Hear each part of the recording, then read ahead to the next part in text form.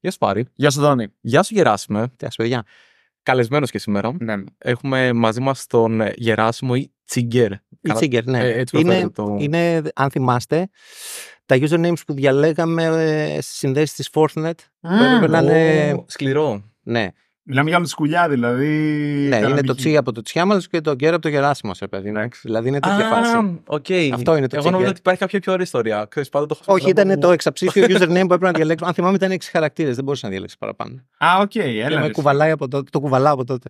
Οκ, καλή φάση. Εγώ νομίζω δεν είχα ποτέ τέτοιο email γιατί ως παιδί δεν νομίζω ότι είχα δικαίωμα στα emails, ξέρεις, Α, που οκ. εσύ. Α, ε, φτιαχνόντουσαν στο, στο σπίτι. Ε, και μετά είχα, νομίζω το πρώτο μου ήταν, ε, αισθάνομαι hotmail. Hotmail, ναι, εντάξει, κλασικά. Εντάξει, ήταν. ε, Το, το οποίο το, το αστείο είναι ότι όταν ήμουν μικρός και ο νονός μου είχε hotmail τότε, νόμιζα ότι ήταν κάτι με τσόντες αυτό. Και έφτιαξε κάτι. ναι, ναι, ναι. Ήταν το όνομα λίγο περίεργο. Αλλά τελικά μόλις έφτιαξε εγώ έμαθα ότι.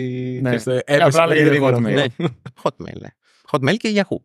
Σωστό, Ναι, Yahoo. Yahoo δεν θυμάμαι άμα είχα. Μπορεί και να είχα. Δεν Κάποια στιγμή θυμάμαι. έφτιαχνα παντού γιατί πειραματιζόμουν. Αυτό έπαιζε στα 90s, δηλαδή. Ναι, ήθελες, παιδί μου, το Πάνε νέο και- domain, ας πούμε. Ναι, ναι, ναι, ναι, ναι, ναι. Το αγαπημένο μου email που έχω πιάσει, βέβαια το πληρώνω, είναι στο Hey. Πρόλαβα πάρεις Α, παπάκι.com. Ναι, και είναι το. Όποτε θέλω, κανονικά δίνω, δίνω με το δικό μου domain, αλλά όποτε θέλω να δώσω κάτι που να είναι εύκολο να το προφέρω, είναι το πιο εύκολο email που έχω ποτέ. Είναι φοβερό. Ε, ναι. Πάρης παπάκι .com.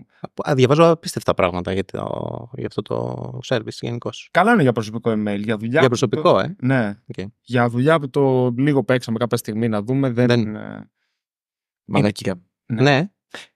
Θα σου πω, έχει ένα πολύ, πολύ συγκεκριμένο workflow που αν αυτό το workflow δεν ταιριάζει σε κάποια σημεία στο δικό σου, έχεις τελειώσει. Ναι. Δηλαδή, Είναι θεωρώ opinionated ότι πολύ. είναι Ναι. τόσο opinionated που αφήνει πάρα πολύ μικρό, περι- για μένα τουλάχιστον, πολύ μικρό περιθώριο που θα μπορούσε να σε βοηθήσει. Οκ. Κάτι το οποίο πήγαν να κάνουν με το professional Hey, γιατί έχει νομίζω σαν δύο Α. διαφορετικά προϊόντα ή κάποια κάτι, ναι. features παραπάνω, δεν έχω καταλάβει. Το οποίο εμένα μου άρεσε για προσωπικό βέβαια, ήταν κάποια στιγμή που πήγαν να βάλουν ένα κομμάτι personal task management πάνω εκεί. Μμμ. Το οποίο το κόψαν μετά. Δεν κατάλαβα. Όχι, τι το έχουν κάνανε. και στο προσωπικό. Το έχω εγώ για τα λογιστικά μου. Μπορείς να κάνεις σαν Kanban board, οπότε Μμμ. στο email που πηγαίνει από ένα stage σε άλλο. Α, μάλιστα. Απλώς έχει κάτι αυτοματοποιήσεις στο, νομίζω, στο επαγγελματικό. Τέλος πάντων, Anyway. το ναι. παρά. Δεν... Ε, έχω και ψυχολογικά γενικά με το να αλλάξω email τώρα. Μου φαίνεται πάρα πολύ βουνό. Εντάξει, ναι. Το οποίο δεν έχει κάποιο πρακτικό πρόβλημα. Απλά είναι ψυχολογικά τα δικά μου νομίζω και κάπου εκεί. Ναι, εγώ γι' αυτό πήγα σε, συγγνώμη, σε δικό μου domain και έχω βάλει πάρεις παπάκι κασιλιάρη.com έτσι Μμμ. ώστε ανάλογα με το τι provider βάλω από πίσω, Α, αυτό σωστά. να μένει Σωστά, σταθερό. είναι Οπότε σταθερό. πλέον δεν έχω, δεν έχω τέτοιο. Καλή φάση. Λοιπόν, Καλά με τα άλλα email, αλλά πάμε να δούμε. Θες να μας πεις λίγο, Γεράσιμε, τι κάνεις σήμερα, τι ασχολείσαι από την Ναι, περίοδο φυσικά. γενικά και να το πιάσουμε από εκεί. Φυσικά. Ε, λέω ότι είμαι designer γενικώς. Ε, τρέχω δύο projects. Το πρώτο είναι το cssigniter.com στο οποίο αναπτύσσουμε WordPress themes και Μμμ. κάποια plugins. Και τους τελευταίους 16 μήνες και Shopify themes. Μόνο τόσο λίγο είναι. Το έχω στο μυαλό μου πολύ 16 πιο είναι. μεγάλο. Γιατί δεν ξέρω, το ακούω πολύ. Δεν... Σε μένα, παιδιά, φαίνεται ένας αιώνας. ναι. Οκ. Ήταν, ναι, ήταν λίγο δύσκολο, αλλά ναι. Είμαστε σε αυτή την ευχάριστη θέση, ας πούμε. Να έχουμε και themes για το Shopify πλέον. Στο marketplace το επίσημο, γιατί υπάρχουν και marketplace στο ThemeForest, ας πούμε, υπάρχουν ε, themes και Shopify πια. Α, μπο- μπορώ να πάρω και να βάλω theme δικό μου στο, Spotify, στο Shopify. Κοίταξε να δεις, κάποιοι φαντάζομαι που δεν μπορούν να περάσουν τα requirements του Shopify, γιατί υπάρχει μια διαδικασία, ε, προκειμένου να μην πάει τζάμπα η δουλειά τους, το ανεβάζουν σε ένα άλλο marketplace, το οποίο είναι λίγο πιο χαλαρά τα πράγματα. Α, Εγώ εννοώ σαν χρήστης όμως μπορώ εγώ να φυσικά, το. φυσικά. Α, Στο, νόμιζα όταν, ότι είναι πολύ κλειστό. Ό, όχι, όχι. Μπορείς να βάλεις theme που έχεις αναπτύξει και εσύ ο ίδιος. Θέλω Οκ. να πω ότι τα περισσότερα agencies που αναλαμβάνουν ε, e-commerce projects για Shopify συνήθως έχουν δικό τους framework, δεν χρησιμοποιούν καν theme. Έχουν αναπτύξει εσωτερικά, δηλαδή ένα Οκ. theme Οκ. το οποίο χρησιμοποιούν από πελάτη σε πελάτη. Δηλαδή δεν είναι απαραίτητο να χωράσει ένα theme στο Shopify από Και το δεν- marketplace. Ανεβε, ανεβε, ανεβαίνει- ανεβάζεις το zip. Ανεβάζει Α, το zip ή το συνδέεις με το GitHub. Έχει ένα πανεύκολο τρόπο. Α, να οκ. συνδέσει ένα repo στο GitHub Α, και έλα, να ρε. κάνεις εκεί το, τη δουλειά σου, να φέρνεις updates ε, αυτόματα. Σόπα, ρε. Ναι, ναι, ναι. Και έχει τα templates με liquid, με κάτι Με τέτοια. liquid, Μπράβο, ναι. προσπαθούν να φύγουν. Γενικά πλέον έχει αλλάξει αρκετά ο τρόπος του theming. Liquid είναι η Ναι. γλώσσα, έτσι. Αυτοί το φτιάξανε κιόλας, νομίζω. Ναι, και το, αυτό που έμαθα πρόσφατα, παιδιά, άσχετο σχετικό, είναι ότι η Liquid είναι μια γλώσσα που είχε ξεκινήσει ο Toby, ο founder. ναι, ναι, ναι, ναι, ναι. Τα, τα, τα PRs ακόμα τα κάνει ο ίδιος approve όλα. Α, ναι. Δηλαδή Πόσο στη χρόνο Liquid. Έχει; Τρέχει ο τύπος σε εταιρεία με 15.000 κόσμο, ξέρω εγώ, και κάνει κάθε και ασχολείται με αυτό το κομμάτι. Πάντως, ίσως το νόημα όταν αρχίζεις και φτάνεις πολύ ψηλά και κάνεις αυτό το οποίο θε και έχεις πετύχει, είναι τέλει να κάνεις όμως και τα πράγματα τα οποία θες. Ναι. Απλώς είναι, δύ- είναι δύσκολο και θέλει και μια γενναιότητα να πεις ότι ξέρεις τι, εγώ με αυτά θέλω να ασχολούμαι. Ναι. Δεν θέλω να κοιτάζω τιμολόγια, procurement, τέτοια ναι. πράγματα. Θα πάρω, η η Shopify είμαι, θα πάρω ίσως τον καλύτερο CFO που μπορώ να έχω να φροντίζεις αυτό, τον Έτσι. καλύτερο COO. Και αν αυτός βλέπει ότι το Liquid είναι κομμάτι του brand του Shopify, μπορεί να βλέπει ότι είναι κομμάτι της εμπειρίας και όλο αυτό, μπορεί να θέλει να είναι top. Κοίταξε να δεις. Από σε καμία περίπτωση δεν μπορώ να καταλάβω τι μπορεί να έχει ένας στόπι στο μυαλό του έτσι. Σε τέτοια κλίμακα, κλίμακα δεν έχω εργαστεί ποτέ. Αλλά επειδή έχω αρκετά χρόνια πλέον σε αυτόν τον κόσμο, δηλαδή είναι 15 χρόνια που είμαι σε marketplaces, βλέπω ότι όταν εγώ χάνω επαφή με το κύριο κομμάτι το οποίο είναι το προϊόν μου, είναι ο κώδικας, είναι το design, είναι δηλαδή και κομμάτια που πλέον ας πούμε production code εγώ δεν γράφω εδώ και 5 χρόνια. Παίζω ελεύθερα, φτιάχνω prototypes, διάφορα. Δηλαδή Από δεν, επιλογή, από, από ανάγκη; επιλογή. Οκ. Θα, θα, εξηγήσω, θα σου εξηγήσω και τους λόγους. Ε, βλέπω ότι όταν χάνω αυτή την επαφή, χάνω και πολλά πράγματα γενικότερα για το προϊόν μου. Δηλαδή, υπάρχει ένας παλμός που χτυπάει εκεί. Όταν έρχεται ένα ticket από ένα πελάτη, όταν έρχεται ένα request, ας πούμε, για ένα customization, όταν εγώ μαζεύω αυτά τα tickets για να δω ποιο είναι το επόμενο feature που θα βάλω στα themes μου, γιατί από εκεί προκύπτουν πια, το feedback του κόσμου, χωρίς να γνωρίζω τη βάση, δηλαδή το core του προϊόντος μου, βλέπω ότι δεν γνωρίζω σωστά προτεραιότητες, ρε παιδί μου. Δεν μπορώ να κρίνω, είναι αυτό τώρα σημαντικό. Το έχουν ζητήσει 100 άνθρωποι, οκ. Προφανώς και είναι, αλλά μήπως αυτό που το έχουν ζητήσει 20 άνθρωποι είναι τελικά πιο σημαντικό για τον Α Β λόγο; Γιατί περιμένουμε μια νέα έκδοση μιας εξάρτησης, όπως είναι το core του WordPress ή του Shopify σαν πλατφόρμα. Βλέπω λοιπόν ότι όταν τεμπελιάζω, δηλαδή λέω: OK, ρε παιδί μου, αυτή τη βδομάδα δεν θα ασχοληθώ καθόλου. Ας πούμε, θα ασχοληθώ με άλλα πράγματα, θα κάνω έρευνα, θα δω τι γίνεται παραέξω κτλ. Βλέπω ότι αποσυνδέομαι. Πόσο μάλλον τώρα ένας άνθρωπος που τρέχει ένα project σε τέτοια κλίμακα, παιδιά. Εντάξει, Τώρα το Shopify έχει μια κεφαλαιοποίηση στα 5 δις, ας πούμε.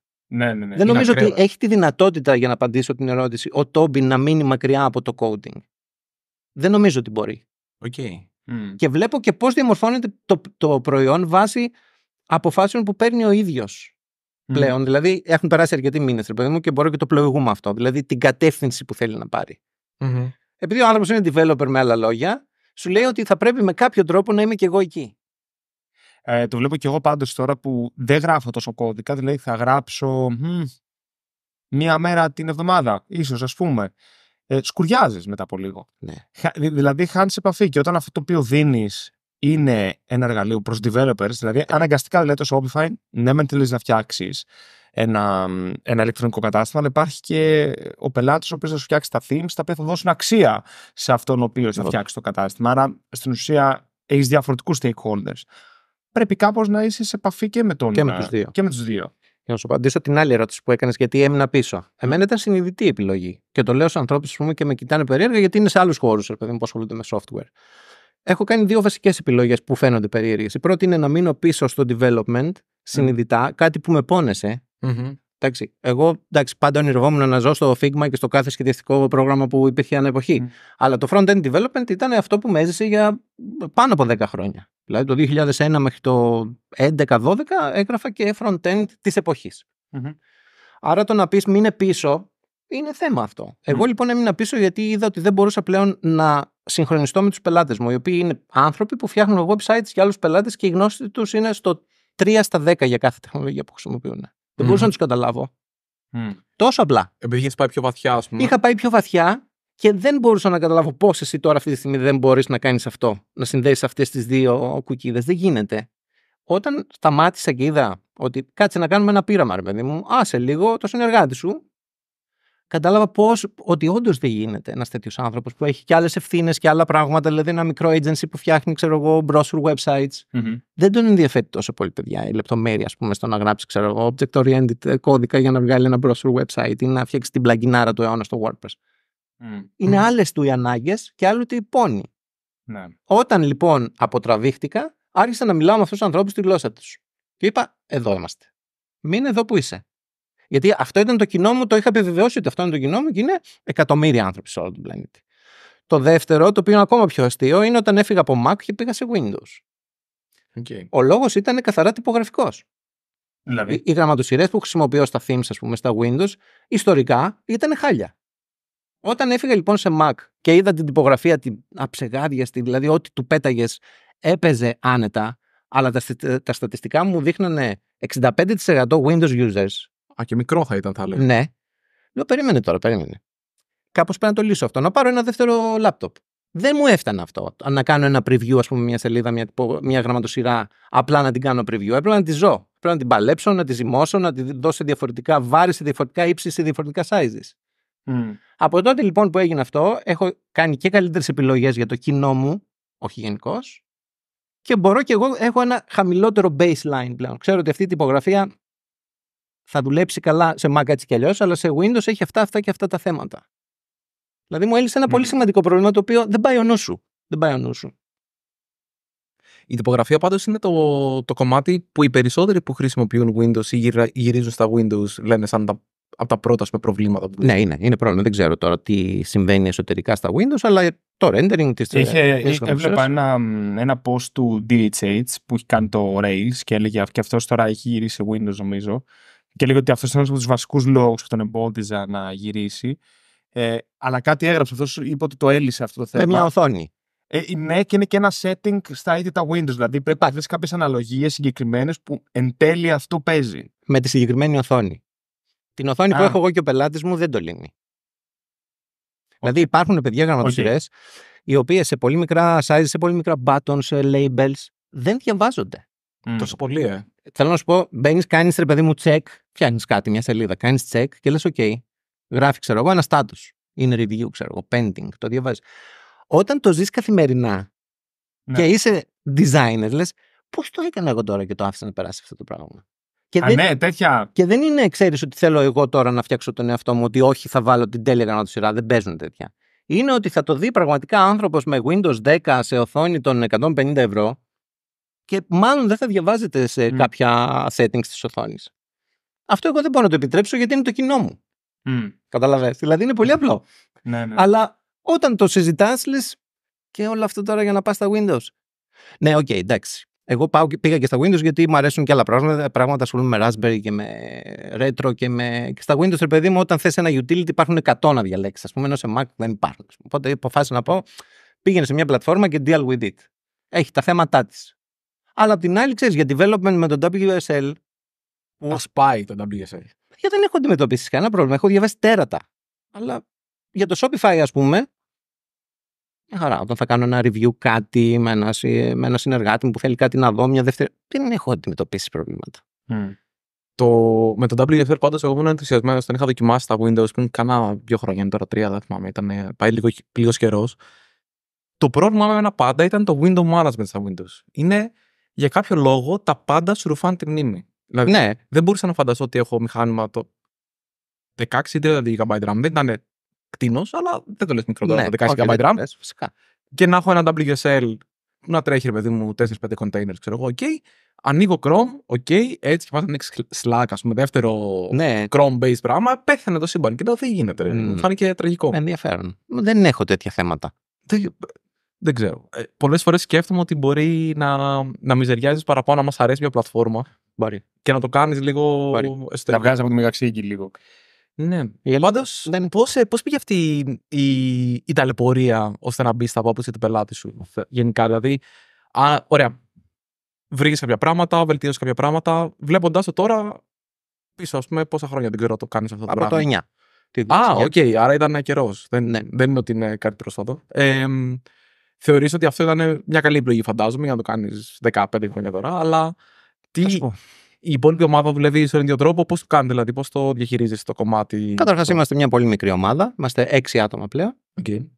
Ε, ήμασταν 8, τώρα είμαστε 6, αλλά σύντομα μάλλον θα είμαστε πάλι 8. Ε, είμαστε μια remote ομάδα, ο καθένας δουλεύει από το χώρο που τον ε, βολεύει. Ε, κοίταξε να, δεις, να σου απαντήσω αυτή την ερώτηση πώς έγινε όλο αυτό. Θε- θέλει λίγο background story αν δεν, βα- δεν σας... ε, Πάμε, πάμε. Ε, ρε παιδί μου, εγώ ήμουν freelancer, δηλαδή έφτιαχνα websites για πελάτες. Έτσι. Ξεκίνησα σε ένα μεγάλο agency στην Αγγλία, έφυγα από εκεί για να έρθω να τακτοποιήσω στρατιωτικά κτλ. Και, και είπα θα γυρίσω, δεν γύρισα. Κλασικές ελληνικές ιστορίε, ας πούμε. Και έμεινα στην Ελλάδα με το attitude του εντάξει, τώρα εγώ έχω δουλέψει εκεί, ας πούμε, και έφτιαχνα sites για τη Lotus Cards και για το BBC, ας πούμε. Τι να μου πει η ελληνική αγορά. Ναι. Όπου εντάξει, ναι, οι σφαλιάρες δεν πρόλαβαν να κατέβουν το αεροπλάνο, δηλαδή ήρθαν από παντού. από παντού, έτσι. Ε, είμαι και σαν άνθρωπος, δηλαδή δεν είχα καθόλου το επικοινωνιακό να διαχειριστώ project, δηλαδή με πελάτη, χρήματα, milestones και είμαι νευρικός. Okay. Οπότε κάπου το 2008 λέω, άκουσα να δεις. Ή θα αλλάξεις δουλειά, θα κάνεις κάτι το οποίο δεν έχει να κάνει με πελάτες, ή θα φέρεις έναν άνθρωπο να διαχειρίζεται αυτό το κομμάτι, θα έχεις ένα firewall μπροστά σου, πούμε, να είσαι από πίσω και να κάνεις το τεχνικό κομμάτι, ή θα βρεις έναν τρόπο να μην έχεις εξαρτήσεις τέτοιου τύπου, γεωγραφικές. Δηλαδή, πώς θα μπορέσω να μην έχω γεωγραφικές εξαρτήσεις επαγγελματικά; Έβαλα κάτω τις γνώσεις που είχα τότε και διαπίστωσα ότι το theming είναι ένα κομμάτι το οποίο ταιριάζει κουτί. Έχω την εντύπωση όμως ότι στην αγορά και ε, εκείνα τα χρόνια, ας πούμε, θεωρείται κάτι υποδιέστερο, κάτι εντάξει, μωρέ, themes είναι. Mm-hmm. Γιατί αυτό; Έχω ξεκινήσει μια υπηρεσία την εποχή εκείνη που κάνω PSD σε HTML ε, conversions. Photoshop αρχεία σε HTML. Ήταν πολύ popular αυτές οι υπηρεσίες. Αυτόματα ή με το χέρι; Με το χέρι. Ανέβασε το ναι. PSD αρχείο και εγώ σε 2-24 ώρε σου το έφερνα πίσω valid HTML, CSS, JavaScript. Okay. Χρέωνα ένα ποσό και έτσι κατάφερα και έφερα και κάποιους πελάτες εκτός Ελλάδος. Μέσα από φόρουμ, μέσα από συζητήσεις, μέσα από spam, ναι, μέσα ναι, ναι, ναι, από τέτοια διαδικασία. Εκεί λοιπόν κατάλαβα ότι αυτό το κομμάτι μπορεί να κάνει ένα μικρό scale. Σαν γεράσιμος δηλαδή, μπορώ να πάρω 15 πελάτες και να, με, να μου στέλνουν αρχεία ας πούμε, από το agency τους και να τους κόβω. Όπως και, ναι. όπως και έγινε. Κόβω ήταν η λέξη, ρε παιδί μου. Ναι, ναι, ναι. Μετατρέπω. Ναι, Όπως και έγινε. Κάπου εκεί συναντάω το WordPress και βλέπω ότι όλο αυτό τώρα κάθεται κουτί και πάνω στο WordPress. Δηλαδή το μόνο που έχω να κάνω είναι να δω πώς μπορώ, ρε παιδί μου, να το κάνω theme πια και βλέπω ότι υπάρχουν ε, παίχτες γεροί και δυνατοί. Δηλαδή, η ιδέα που είχα για το theming είναι αστεία. Έτσι. Δηλαδή, 2010-2011 ήδη έχω ανταγωνιστή, ο οποίος κάνει 2-3 εκατομμύρια τζίρο το χρόνο από αυτή τη δουλειά. Με ομάδες 10 ατόμων, παιδιά τώρα. Και λέω, εντάξει, περίμενα. Να το δούμε λίγο. Ε, επικοινωνώ με ένα παλιό φίλο, τον ε, συνέτερο που έχω και σήμερα, τον Ανάστη. Του λέω εσύ έτσι και έτσι, μήπως θες να το δούμε. Και αυτός ήταν σε μια φάση τι θα κάνω στη ζωή μου τότε, ας πούμε. Και μου λέει, πάμε, ρε παιδί μου, να το δούμε κάνουμε μία πρώτη κίνηση όπου νομίζουμε ότι θα βγάλουμε τα καλύτερα themes και ο κόσμος θα έρθει και θα τα αγοράσει και θα γίνουμε πλούσιοι σε ένα βράδυ, κάτι που δεν γίνεται ας πούμε. Δύο βράδια. Ε, πήρε ένα χρόνο. Πήρε ένα χρόνο. Α, γρήγορα είναι και πάλι πάντα. Πήρε ένα χρόνο, ήταν απόλυτη αποτυχία. Δηλαδή, βγάλαμε τα themes και απλά καθόμασταν, δεν κάναμε τίποτα. Ένα χρόνο είναι καλά. Ναι, ήταν καλά. Ήταν καλά. Πες μας γιατί σε διέκοψα τώρα. Anyway, ρε παιδί, μετά που κατάλαβα ότι πρέπει να εμφανιστώ στο είναι open source project, πρέπει να εμφανιστεί στο community, πρέπει να κάνεις πράγματα τα οποία δεν έχουν να κάνουν με το να πουλήσει το προϊόν. Πρέπει απλά να δείξεις ότι είσαι μέρος αυτής της κοινότητας για να σε μάθει και ο κόσμος που ε, ενδεχομένως να αγοράσει κάποια από τα προϊόντα σου.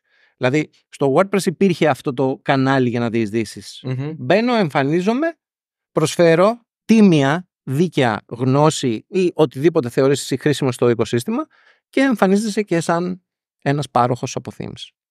Okay. Άρα κάπως έτσι ξεκίνησε. Αυτό το έκανες μέσω συνεδρίων, μέσω ναι, ναι, ναι. Στο... Μέσα από τα meetups, μέσα από τα WordCamps που διοργανώνονται, μέσα από συζητήσεις online. Θέλω να πω ρε παιδί μου, ε, στο core υπάρχει το Slack που ο καθένας μπορεί να μπει και να δει τι συζητάνε για την επόμενη έκδοση του. Να συμμετέχει στη συζήτηση, έχει διάφορα κανάλια για design, για backend, για whatever και απλά να συμμετέχει σε αυτές τις συζητήσεις. Δηλαδή και ακόμα και σήμερα έτσι γίνεται. Οπότε ναι, δεν είναι δύσκολο να εμφανιστείς και να πει Γεια σας, παιδιά, είμαι ο Γεράσιμο και έχω αυτή την πραγμάτια, ας πούμε. Και αφήστε την πραγμάτια, έχω να σας πω και πέντε ιδέες για το τι θεωρώ εγώ καλό, ας πούμε, για, το... για την κύρια εξάρτηση που είναι το WordPress. Mm-hmm. Οπότε κάπως έτσι άρχισε, ρε παιδί μου, ξέρεις, ο ένας με τον άλλον, ένας plugin developer, Γεράσιμε, δοκιμάσαμε το theme με το plugin μας που είναι λίγο πιο popular και είδαμε κάποια incompatibilities, ας πούμε, διόρθωσέ τα, να σε κάνουμε και ένα mention. Mm-hmm. Okay. Οπότε, να σου και ένα δεύτερο κανάλι. Συνεργίες, ας πούμε, με plugin developers. Και ξέρεις, ο ένας με τον άλλον, ρε παιδί μου. Δηλαδή, αν είσαι προσεκτικός εκεί, αρχίζεις και φτιάχνει κάποια κανάλια οργανικά. Αυτό. Και ε, θες να μας πει λίγο παραπάνω για εκείνη την περίοδο. Οπότε ξεκινάτε λοιπόν, λέτε ότι θα κάνουμε plugins για, ε, ε themes. themes για, για WordPress. Mm-hmm. Κοίταξε να δεις, εμένα το κύριο μέλημά μου τότε ήταν ότι δεν ήθελα πάλι εξαρτήσεις, έχω ένα θέμα με εξαρτήσεις γενικά ε, επαγγελματικά, δεν θέλω να έχω εξαρτήσεις, ακούγεται λίγο οξύμορο, αλλά θα εξηγηθώ. Ήθελα να πουλάω themes στο site μου. Δηλαδή να μην πουλάω μέσα σε marketplaces. Δεν γινόταν όμως, δηλαδή ήταν λίγες οι πωλήσεις. Οπότε, ρε παιδί μου, εκείνη την εποχή υπήρχε ένα marketplace που ακόμα υπάρχει, το Theme Forest. Οπότε λέω, ας δοκιμάσουμε να ανεβάσουμε και ένα προϊόν στο Theme Forest. Ανεβάζουμε, παιδιά, ένα προϊόν μετά τον πρώτο χρόνο στο Theme Forest και πραγματικά ξυπνήσαμε με πωλήσεις απίστευτες. Δηλαδή, ξέρεις, πού είναι το support, κάτι έχετε κάνει λάθος, παιδιά. Δεν... Ναι, ναι, ναι. ναι, ναι. Ω, φοβερό. Τέτοια φάση όμως. Τέλειο ξύπνημα, βέβαια. Τέλειο ξύπνημα, ναι. Ναι. Οπότε λέω, ωραία. Δεν ξέρω, αυτό δεν το έχω απαντήσει ακόμα πώς μου έκοψε τότε και είπα, πρόσεχε τώρα, μην δημιουργήσεις αυτό που δεν ήθελες. Μια εξάρτηση. Δηλαδή, μην μείνεις εδώ μέσα. Μμμ. Δες πώς θα αξιοποιήσεις όλο αυτό το buzz, ώστε να φέρεις κόσμο και στο μαγαζί σου έξω. Και όπως και έκανα. Δηλαδή, υπήρχε κόσμος που έβλεπε, ας πούμε, το... υπήρχε ένα link στο προφίλ και ερχόταν και σου έλεγε Α, έχεις και εκεί themes. Οκ. Ε, τότε είχαμε ένα theme για μουσικούς, ας πούμε. Δεν ήταν άλλο στο μουσικό. Είχα themes για ξενοδοχεία, για λογιστές, για μικρές επιχειρήσεις, ας πούμε. Έβλεπε ε, τα themes στο site και άρχισε να αγοράζει και από εκεί. Οπότε είχα και χρήμα, έβγαζα και χρήματα από το ThemeForest, αλλά άρχισα να έχω και ένα πάρα πολύ καλό traffic προς το website μου. Το οποίο ήταν το CSS Igniter. CSS Igniter, ναι. Το οποίο ερχόταν από το ThemeForest αρκετά. Ερχόταν από το αρχικά, ThemeForest, ναι. traffic, οκ. ναι. Δηλαδή, δι, μας έλυσε δύο βασικά προβλήματα. Το, το θέμα της αξιοπιστίας, γιατί είχα reviews στο ThemeForest, Μμμ. είναι αξιόπιστη πάρτε ρε παιδί μου, θα σας βοηθήσουν στο support, δεν θα εξαφανιστούν. Ναι. Ναι. Πάρα πολύ σημαντικό για, μια νέα, για ένα νέο. Ποιος είσαι, τι είσαι, τι πουλάς. Γιατί να αγοράσω από σένα, θα είσαι εκεί.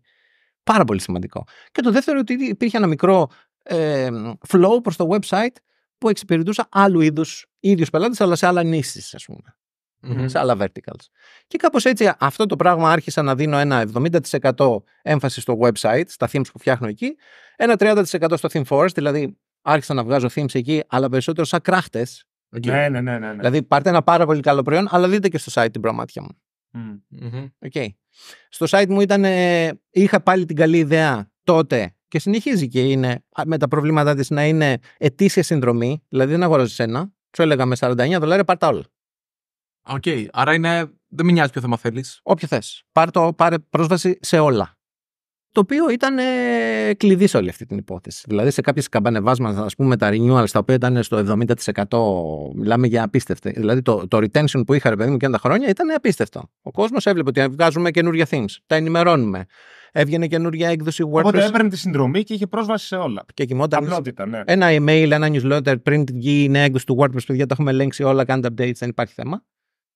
Γιατί όχι. Το ποσό μικρό για να δημιουργεί φασαρίε στην αγορά, μα χρεώνεται, δεν ξέρω εγώ τι. Οπότε είναι κάπως έτσι ξεκίνησε αυτή η ιστορία. Και εκεί πάνω λοιπόν μετά άρχισα να. Προσπα... Προσπάθησα να βελτιωθώ, ρε παιδεύω, και στο κομμάτι του business. Δηλαδή, ωραία, τι το κάνουμε όλο αυτό τώρα, όλο αυτό το feedback που έχουμε, ας πούμε, από τον κόσμο, τι το κάνουμε, πώς το χρησιμοποιούμε; Μμμ. Είχα κάποιους ανθρώπους γύρω μου, ας πούμε, που μου δώσανε κάποιες ιδέες. Εκεί ξεκίνησε, ας πούμε, αυτό να ομαδοποιώ τα features, να δίνω προτεραιότητες στο ότι. Εγώ, ας πούμε, ήθελα να σχεδιάσω καινούργια themes, ήθελα να βγάλω τα καινούργια trends στην αγορά. Δεν μεταΐζαν αυτά. Μμ. Μμμ. Μεταΐζανε τα, οι φωνές που έλεγαν εσύ βάλτε αυτό το feature. Δηλαδή, Έλε. και ήταν 100 άνθρωποι αυτοί. Οπότε ναι, από εκείνη τη στιγμή και μετά κατάλαβα ότι δεν αφορά πλέον εμένα. Δεν αφορά τα θέλω μου ως προς το κομμάτι του design. Αφορά ένα κοινό που έχεις χτίσει. Και ενώ τα όνειρά μου σαν designer πιτσιρίκος δεν ήταν ότι θα σχεδιάζεις theme για να ζήσεις, όπως όλα τα παιδιά έτσι και εγώ πίστευα ότι κάπου θα είμαι και θα σχεδιάζω για την Nike και δεν ξέρω εγώ τι. Αποφάσισα ότι θα το, εξ- θα το υπηρετήσω τίμια όλο αυτό. Ναι, Τίμια, δηλαδή θα το πάω στο Θεό, ρε παιδί μου. ναι, ναι. ναι. Θα είμαι εδώ για σένα. Μμ. Είσαι ο μικρομεσαίος πελατάκος, ο οποίος φτιάχνει website με έτοιμα προ- καλούδια. Θα σε εξυπηρετήσω τιμία. Μμ. Δεν σου πουλάω κάτι φθηνό απλά να σου πάρω το 50 Μμ. Όπως και συνέβη τα τελευταία 15 χρόνια. Δηλαδή, μια υπόσχεση που κρατάω εγώ προσωπικά. Δηλαδή, πλέον έχουν φύγει οι ανασφάλειες του σχεδιαστή, του τα, το κάνω καλά, δεν το κάνω καλά. Είμαι εκεί. Οι άνθρωποι μου, οι πελάτες μου να είναι. Μμ. Ρε παιδί μου, ο Γερά... δηλαδή τώρα, ποιο είναι το feedback στην αγορά. Ο Γεράσιμος δεν έχει τα πιο ωραία things. Αλλά φίλε, το support δεν υπάρχει. Είναι εκεί. Όποτε ρωτάμε, είναι εκεί. Είναι πολύ σημαντικό αυτό. Και είναι πολύ σημαντικό αυτό. Εμάς ήταν ε, στην πρώτη μας εταιρεία, τη Sourceler, αυτό ήταν από τα, ένα από τα βασικά πράγματα τα οποία κάναμε. Δηλαδή, ήμασταν πάρα το support. Δεν ξέρω πώς το κάναμε αυτό το πράγμα ακριβώς, αλλά δωρεάν χρήστε. Οποιοδήποτε όποιος έμπαινε και το. Αυτό είναι ένα online ID, μπαίνεις και γράφεις κώδικα στο Ιντερνετ. Οπότε όποιος το χρησιμοποιούσε που ήταν στην αρχή freemium και μας έστελνε ένα email, εμείς απαντούσαμε στο BAM. Αυτό. Το φοβερό είναι ότι από αυτό ήρθαν πελάτες, ακόμα και στην τωρινή μας, ένας πελάτης, στην τωρινή μας εταιρεία, τη Logic, και μας μας βρίσκει και μας στέλνει ένα email και λέει: Γεια σας, παιδιά, χρησιμοποιούσα το Sourceler, είχα συνδρομή και είχατε εξαιρετικό support. Να- Και βλέπω ότι στην καινούργια εταιρεία κάνετε DevOps. Και χρειάζομαι κάποιον να με βοηθήσει με αυτό. Βλέπεις. Τρομερό. Τρομερό. Που... Ε, Επίσης, ναι. παιδιά, είναι ανταγωνιστικό πλεονέκτημα. Εγώ δεν το έβλεπα. Δηλαδή, πάλευα με τους άλλους σε επίπεδο οπτικό. Όταν κατάλαβα ότι το support των κύριων ανταγωνιστών μου είναι κακό, ναι. λέω παιδιά, stop. Εδώ. 24 ώρες δεν θα φύγει ticket. Δηλαδή, δεν ξέρω τι μέρα θα είναι. Μμ. Χριστούγεννα, Πάσχα. 24 ώρες. Θα απαντάμε όλα τα tickets σε 24 ώρες. Μμ. Για, για τι μέγεθος ομάδα μιλάμε σε αυτή την Έξι περίπτωση; άτομα είμαστε. Α, από τότε. Α, εννοώ. όχι, τότε ήμασταν τρεις. Τρία Οκ. άτομα. Εγώ είχα απαντήσει τότε γύρω στα 3.500 tickets σε ένα διάστημα πολύ μικρό. Έτσι. Δηλαδή, Έλα, ήταν, ναι. η ζωή μου ήταν tickets. Είναι φοβερό όμως. Αλλά ήταν επίσης μάθημα. Ναι. Έμαθα πολλά πράγματα. Πάντως το theming ακόμα και τώρα είναι πολλοί οι οποίοι το, το κορυδεύουν όντως και λένε. Ναι, ναι, «Έλα, υπάρχει. υπάρχει... Και το σκεφτόμουν τις προάλλε εγώ και λέω είναι πραγματικά από τις πιο αξιοζήλευτες businessικά. ίσως είναι η πιο αξιοζήλευτη δουλειά που μπορείς να έχεις. Δουλειά, είδος business. Γιατί, γιατί το ένα κομμάτι είναι αυτό το οποίο κάνουμε ο Αντώνης και εγώ που κάνουμε professional services. Το επόμενο είναι να έχεις ένα software as a service. Το theming είναι ακόμα καλύτερο γιατί δεν χρειάζεται να συντηρείς μια υπηρεσία Ναι, η είναι. οποία γράφει δηλαδή, about the business λέω τώρα. Δηλαδή λένε έλα μωρέ τώρα τι κάνουν αυτοί. Ναι, Αλλά ναι. είναι μια, ένα φοβερό business model. Είναι, theming. είναι, είναι ευχάριστο. Είναι Το, το ευχάριστο. μόνο OPEX είναι το support βασικά που έχει μετά. Ναι. Ναι. Πρακτικά. άμα Είναι το σκεφτείς. support. Το οποίο ε, μετά, ρε παιδί μου, αν σε ενδιαφέρει, όπως εμένα με ενδιαφέρει και κάτσα και μελέτησα και ρώτησα και ανθρώπους από μεγαλύτερες ομάδες και από άλλα προϊόντα που το είχαν ψηλομηδενήσει. Η καλύτερη συμβουλή που είχα ακούσει από κάποιον, ας πούμε, μέσα στην κοινότητα ήταν ότι τώρα πρέπει να δώσει ένα ύφος στο support. Μια γλώσσα. Δηλαδή, Οκ. διάλεξε μια γλώσσα και κράτα τη. Δηλαδή, δεν μπορεί να είσαι απόλυτα ευγενικός ή του δρόμου. Βρες ένα. Βρες... Είναι branding αυτό που θα κάνεις, ρε παιδί μου, η γλώσσα που θα μιλάς στους πελάτες. Οπότε, αν δεις, ας πούμε, εμείς έχουμε ένα πολύ casual, ε, informal, ότι μην σκάς. Και εμείς ήμασταν σε αυτή τη θέση. Έρχεται, ας πούμε, άλλος λέει, παιδιά, συγγνώμη, είναι πρώτη φορά που χρησιμοποιώ WordPress, ε, έχω αυτό το πρόβλημα. Η πρώτη απάντηση που θα λάβει δεν είναι τεχνική, είναι και εμείς ήμασταν εκεί πριν 10 χρόνια. Cool. Ναι. Δεν μπορείτε να φανταστείτε πώς το εκτιμάει αυτό ο κόσμος. Δηλαδή, Οκ. ότι συνδέεσαι μαζί τους σε τέτοιο επίπεδο. Μμ. Γι' αυτό είμαστε πρώτον εμείς εδώ. Δεύτερον, και εμείς δεν ξεκινήσαμε, δεν, δεν φυτρώσαμε με το WordPress στο κεφάλι. Έχετε κόσμος που είναι φοβισμένος, ας πούμε, κάπου. Πάρα πολύ. Γιατί σε, υπάρχει μια τοξικότητα στο θέμα support. Δηλαδή, επειδή κάνουν outsource το support πολύ, μεγάλο Mm. λάθος για μένα σε αυτή την αγορά.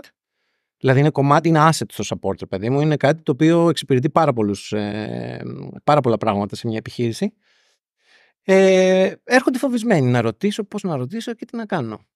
Και όταν ο άλλος έχει και μια υπογραφή κάτω στο email που ξέρω εγώ λέει ε, στέλνω από το Rio de Janeiro και του γράφω και κάτω PS τι καιρό έχετε εκεί πέρα ρε παιδιά δηλαδή παίζετε Ναι. μπάλα στην μπάλα. Αρχίζουν και γράφουν σε ντόνια.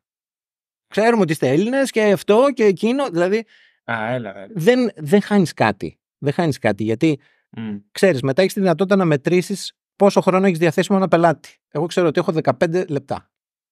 Στο Μμμ. lifetime του για τα λεφτά που μου δίνει μπορώ να ασχοληθώ μαζί του 15 λεπτά. Τα αξιοποιώ όλα και τα 15. Μμ. Δεν αφήνω δηλαδή, δεν το, δεν το ξεπετάω σε ένα λεπτό. Οκ. Τον πάω λίγο πώς μπρος πίσω ρε παιδί μου, ώστε να ξέρω ότι ξέρει με ποιον έχει να κάνει. Μμ. Άστο το προϊόν θα το βρούμε. Δεν, τι μπορεί να είναι, θύμη είναι να πάρει ευχή. ναι, ναι, ναι. Αλλά εμένα θα με βρεις, ας πούμε, αύριο. Θα, εδώ δεν θα σου απαντήσω Ναι. μετά από μια εβδομάδα, όπως κάνουν πάρα πολλοί. και μετά σε συστήνουν και αυτό γίνεται, είναι ανταγωνιστικό πλεονέκτημα. Είναι... Μιλάει ο κόσμος, παιδιά. Μιλάει. Δηλαδή, γραφτήκανε πράγματα, σου λέω, σε αυτό. Δηλαδή, ό,τι feedback είχαμε στο, στα social media ήταν CSS Igniter. Πηγαίνετε δηλαδή χαλαρά γιατί τα παιδιά είναι εκεί για εσά. Μμ. Δεν ήταν ποτέ έχουν τα καλύτερα themes. Αλλά αυτό μετά ήταν απόφαση. Μμμ. Θα μπορούσα ίσως εγώ να σχεδιάσω και πιο ωραία themes. Ίσως, δεν ξέρω. Αλλά όταν είδα ότι το κομμάτι που με διαφοροποιεί σε μια ήδη κορεσμένη αγορά είναι το support, πήγα και τοποθετήθηκα σε ένα χώρο που δεν υπήρχε κανένας. Και είπα, Μμ. παιδιά, εδώ, support. Και πα- πάνω σε αυτό το κομμάτι, έστω λοιπόν ότι το, το αναγνωρίζει αυτό, βλέπεις ότι ο πελάτης θέλει να σε ακούσει. Μμ. Από την άλλη, φαντάζομαι και μια εταιρεία θες να ελαχιστοποιήσεις το support το οποίο του παρέχεις. Ναι.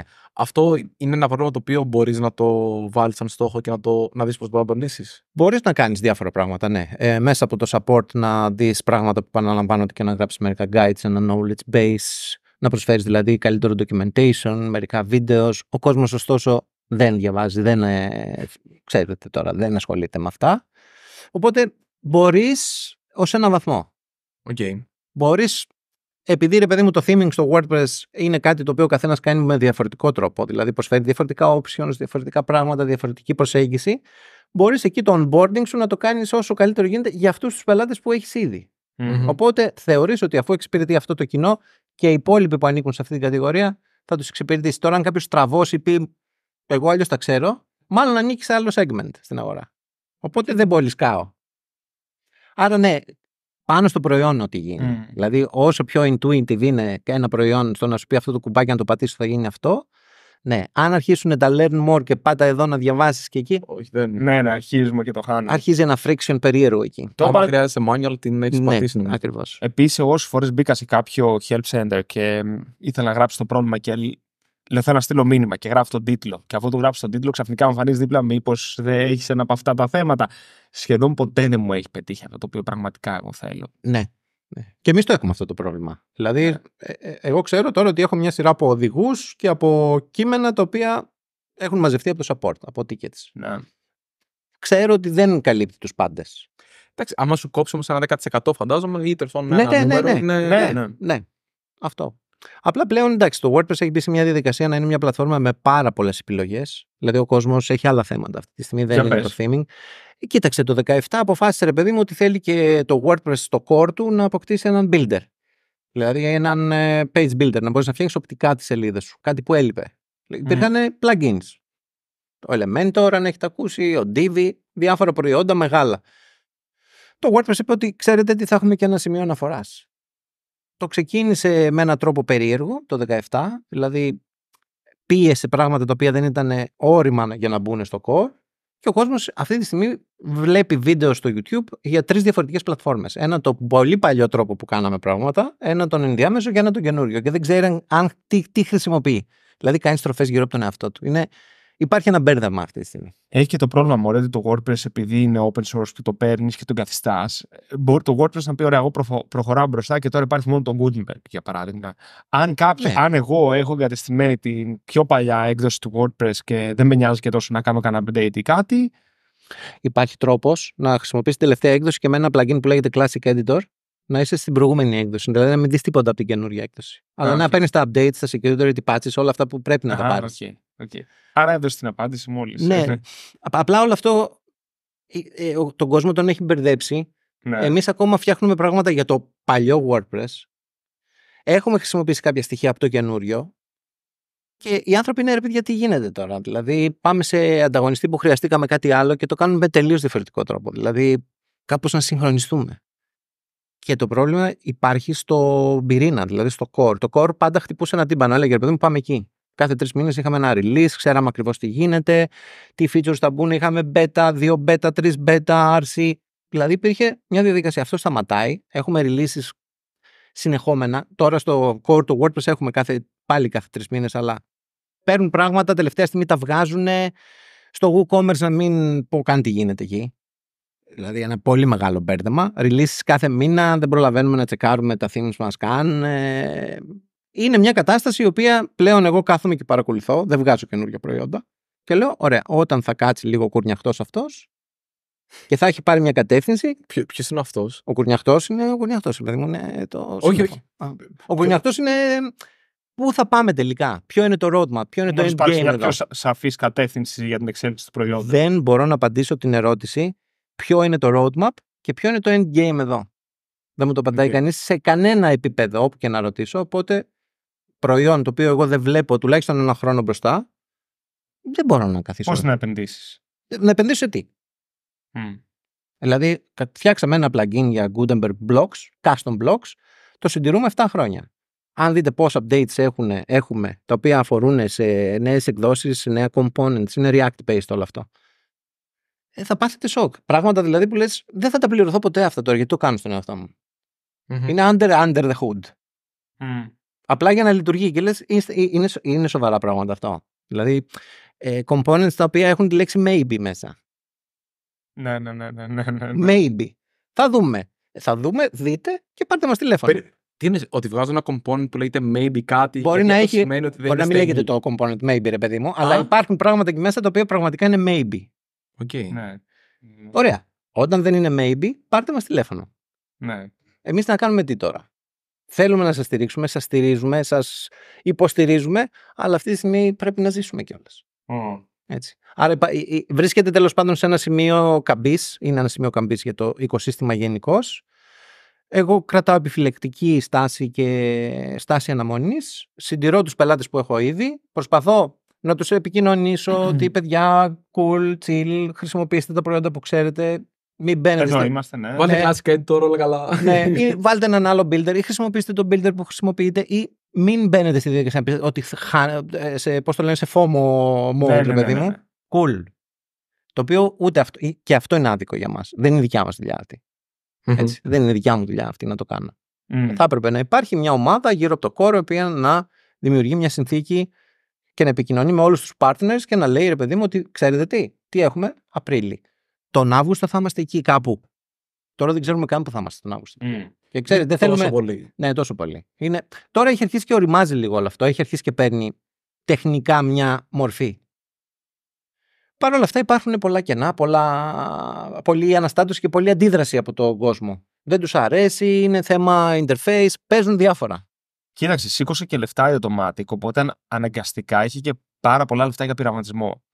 Αυτό δεν ξέρω αν ισχύει. Όχι, ενώ μπορεί αυ- να, να επειδή έβγαλε κάποιο ρίσκο από το τραπέζι, Ναι. αναγκαστικά, να λένε «Ω, ωραία, πάμε να δοκιμάσουμε πράγματα. Ρε παιδί μου, ξέρεις τι, η Automatic όμως είναι απλά ένας παίχτης ακόμα μέσα στο οικοσύστημα του WordPress. Δεν, εντάξει, πλέον τα releases, ο Matt, ο ιδρυτής του WordPress, ας πούμε, είναι lead σε όλα τα releases, αλλά ο Matt έχει την Automatic, έχει το WordPress.com, έχει το WooCommerce.com, έχει τα δικά του προϊόντα, τα οποία θεωρούνται από τα μεγαλύτερα στο οικοσύστημα. Θέλω να πω, το να πεις αυτή τη στιγμή ότι κάνεις απόλυτο κουμάντο για το πού πάει το προϊόν, ενώ είχαμε πάρει μια κατεύθυνση, είχε δώσει το community, είχαν κάνει contribution άνθρωποι, πανέξυπνοι άνθρωποι για το πού πάει όλο αυτό. Δεν έφτασε τυχαία, παιδιά, στο 43% του web το WordPress. Δεν έφτασε από έναν άνθρωπο. Έτσι. Υπάρχει ένα σύστημα αυτή τη στιγμή. Ξέρετε πόσα WordCamps γίνονται στον πλανήτη κάθε χρόνο. Άπειρα. Πόσα meetups κάθε μέρα. Μμ. Δηλαδή, μιλάμε για εκατομμύρια ανθρώπων οι οποίοι συνεισφέρουν ουσιαστικά σε αυτή την πλατφόρμα. Δεν είναι δουλειά ενός ανθρώπου αυτή. Ε, θέλω να π- παίρνω με αφορμή αυτό το οποίο είπες για το ΜΑΤ και Μμμ. θα αναφέρω ότι κάποια στιγμή είχε κάνει νομίζω κάποιο υπερφύαλο, κάποια υπερφύαλη ανάρτηση. Δεν θυμάμαι τι ήταν. Και εγώ την έχω ξεχάσει.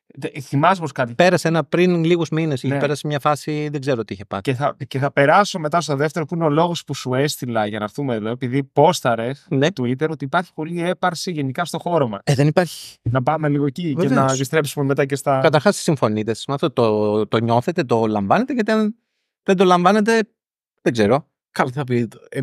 Ε, το ότι φέρνουμε ανθρώπους με τους οποίους θέλουμε να μιλήσουμε δεν σημαίνει ότι πρέπει να. Όχι, λέω ρε παιδί μου, ερώτηση είναι. Αν νιώθετε ότι υπάρχει. Ε, εγώ νιώθω ότι. Θα σου πω βασικά, η έπαρση θεωρείς ότι είναι από τους ανθρώπους τεχνολογίας, από τις Από τους εταιρείες. ανθρώπους στο, στο tech γενικώς. Ε, νιώθω ότι η μεγαλύτερη. ότι το peak της έπαρσης ήταν πέρυσι. Δεν ξέρω. Εγώ ένιωσα ένα τρελό peak τα τελευταία χρόνια, ειδικά μετά Μμ. τον COVID. Το.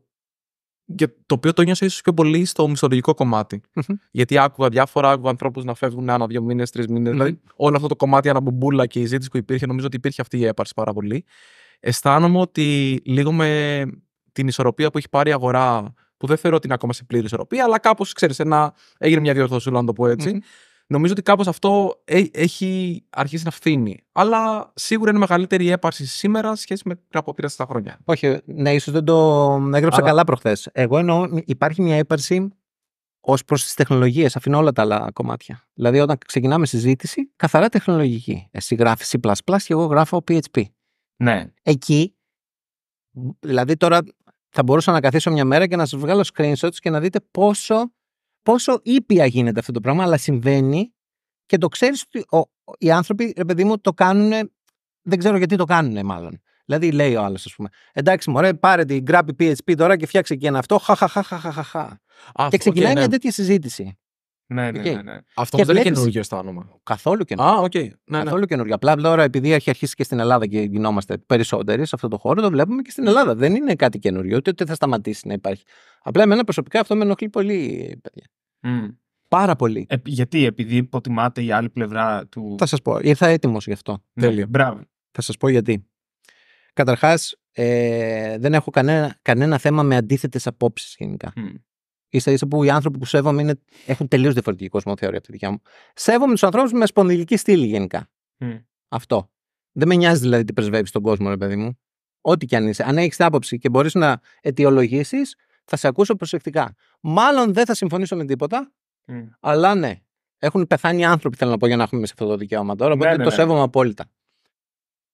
Υπάρχει ένα κοινό το οποίο ε, ήρθε κοντά μου τελείως τυχαία. Αποφάσισα και εγώ να φτιάξω έτσι βίντεος. Και το κοινό που με προσέγγισε είναι παιδιά που μπαίνουν τώρα στην αγορά. Μμμ. Οκ. Οπότε ρε παιδί μου, από ένα χαβαλέ που είπα, πες τα ρε παιδί μου στο βίντεο αυτά που σκέφτεσαι, εμφανίστηκε κατά κύριο λόγο ένα τέτοιο κοινό. Αυτό λοιπόν το κοινό, παιδιά, αυτή η έπαρση, το έχει μπερδέψει τόσο άσχημα με την αγορά εργασίας, δεν ξέρουν τι να κάνουν αυτά τα παιδιά. Εξηγούμε. Γεια σου, Γεράσιμε. λα, λα, λα. Μμ. Μόλις τελείωσα τις σπουδές μου, λα, λα, λα, λα, θέλω να ασχοληθώ με το web development. Έχω πάει σε τρία-τέσσερα meetups. Επειδή όμως δεν το έχω να πάω να σκίσω να σφίγγω χέρια, έπιασα κάποιες συζητήσεις, οι οποίες κάνανε πλάκα με πολύ συγκεκριμένες τεχνολογίες. Να ασχοληθώ με αυτές τις τεχνολογίες. Μμ. Το καταλαβαίνετε αυτό τώρα πόσο σημαντικό είναι. Θέλω να πω, δεν είναι κουτσομπολίστικο το σχόλιο, υπάρχει έπαρση. Κάνε ό,τι θες. Θες να είσαι ψωνάκι, θες να είσαι μαϊντανός, θες να βγεις να το λες. Μαζί σου. Εγώ θα πολεμήσω για σένα, να λες ότι γουστάρεις. Μμ. Αλλά ξέρεις ότι δημιουργείς ένα πρόβλημα σε ένα κοινό το οποίο αυτή τη στιγμή δεν θα έπρεπε να είναι μέρος του προβλήματος, αλλά να είναι μέρος της λύσης. Το οποίο είναι τα νέα παιδιά. Εσύ, Οκ. ναι, λέ- δηλαδή υπάρχουν συζητήσεις. Εγώ έχω κάποια πράγματα κοντινά που ίσως έχω πιάσει είναι ε, ατάκες τύπου εντάξει. Σε σοβαρές εταιρείες δεν χρησιμοποιούν αυτό. Ακριβώς. Π.χ. Αυτό πες το με εσύ πάρει με τον Αντώνη εδώ. Συζητήσ- γελάστε με όποιον θέλετε. Αλλά όταν διοργανώνεται ένα event και ξέρετε ότι εκεί μπορεί να είναι παιδιά τα οποία τώρα προσπαθούν να καταλάβουν τι διάλογο γίνεται σε αυτήν την αγορά. Μπορεί να τον μπερδέψει χωρίς. Ένα κλικ προσοχή. Μμμ. Δηλαδή κάνετε ότι θέλετε να γελάσετε, μην γελάτε, ρε παιδί μου. Δηλαδή όλο είναι δίπλα. Και σου Ναι. λέει, ρε, εσύ, γιατί γελάνε τώρα αυτοί; Μμ. Είναι τόσο δηλαδή χάλια αυτή για να μην τη διαλέξω αυτή την τεχνολογία. Ήθελα να φέρω screenshots από email σας να διαβάσω, αλλά έκα- είπα δεν θα το κάνω. Ρε παιδί μου, σας Α, φέρω οκ. μόνο την, το, το συμπέρασμα. Ναι, ναι. Δεν σας μιλάω για ένα και δύο περιστατικά. Δεν θα, Τόσο έρχω- δεν θα πολύ. έκανα σχόλιο. Ναι. Είναι, Είναι, πολύ- παιδιά, εκατοντάδες άνθρωποι οι οποίοι έρχονται με τον έναν ή τον άλλο τρόπο. Κατά πού να κάνω, Γεράσιμε.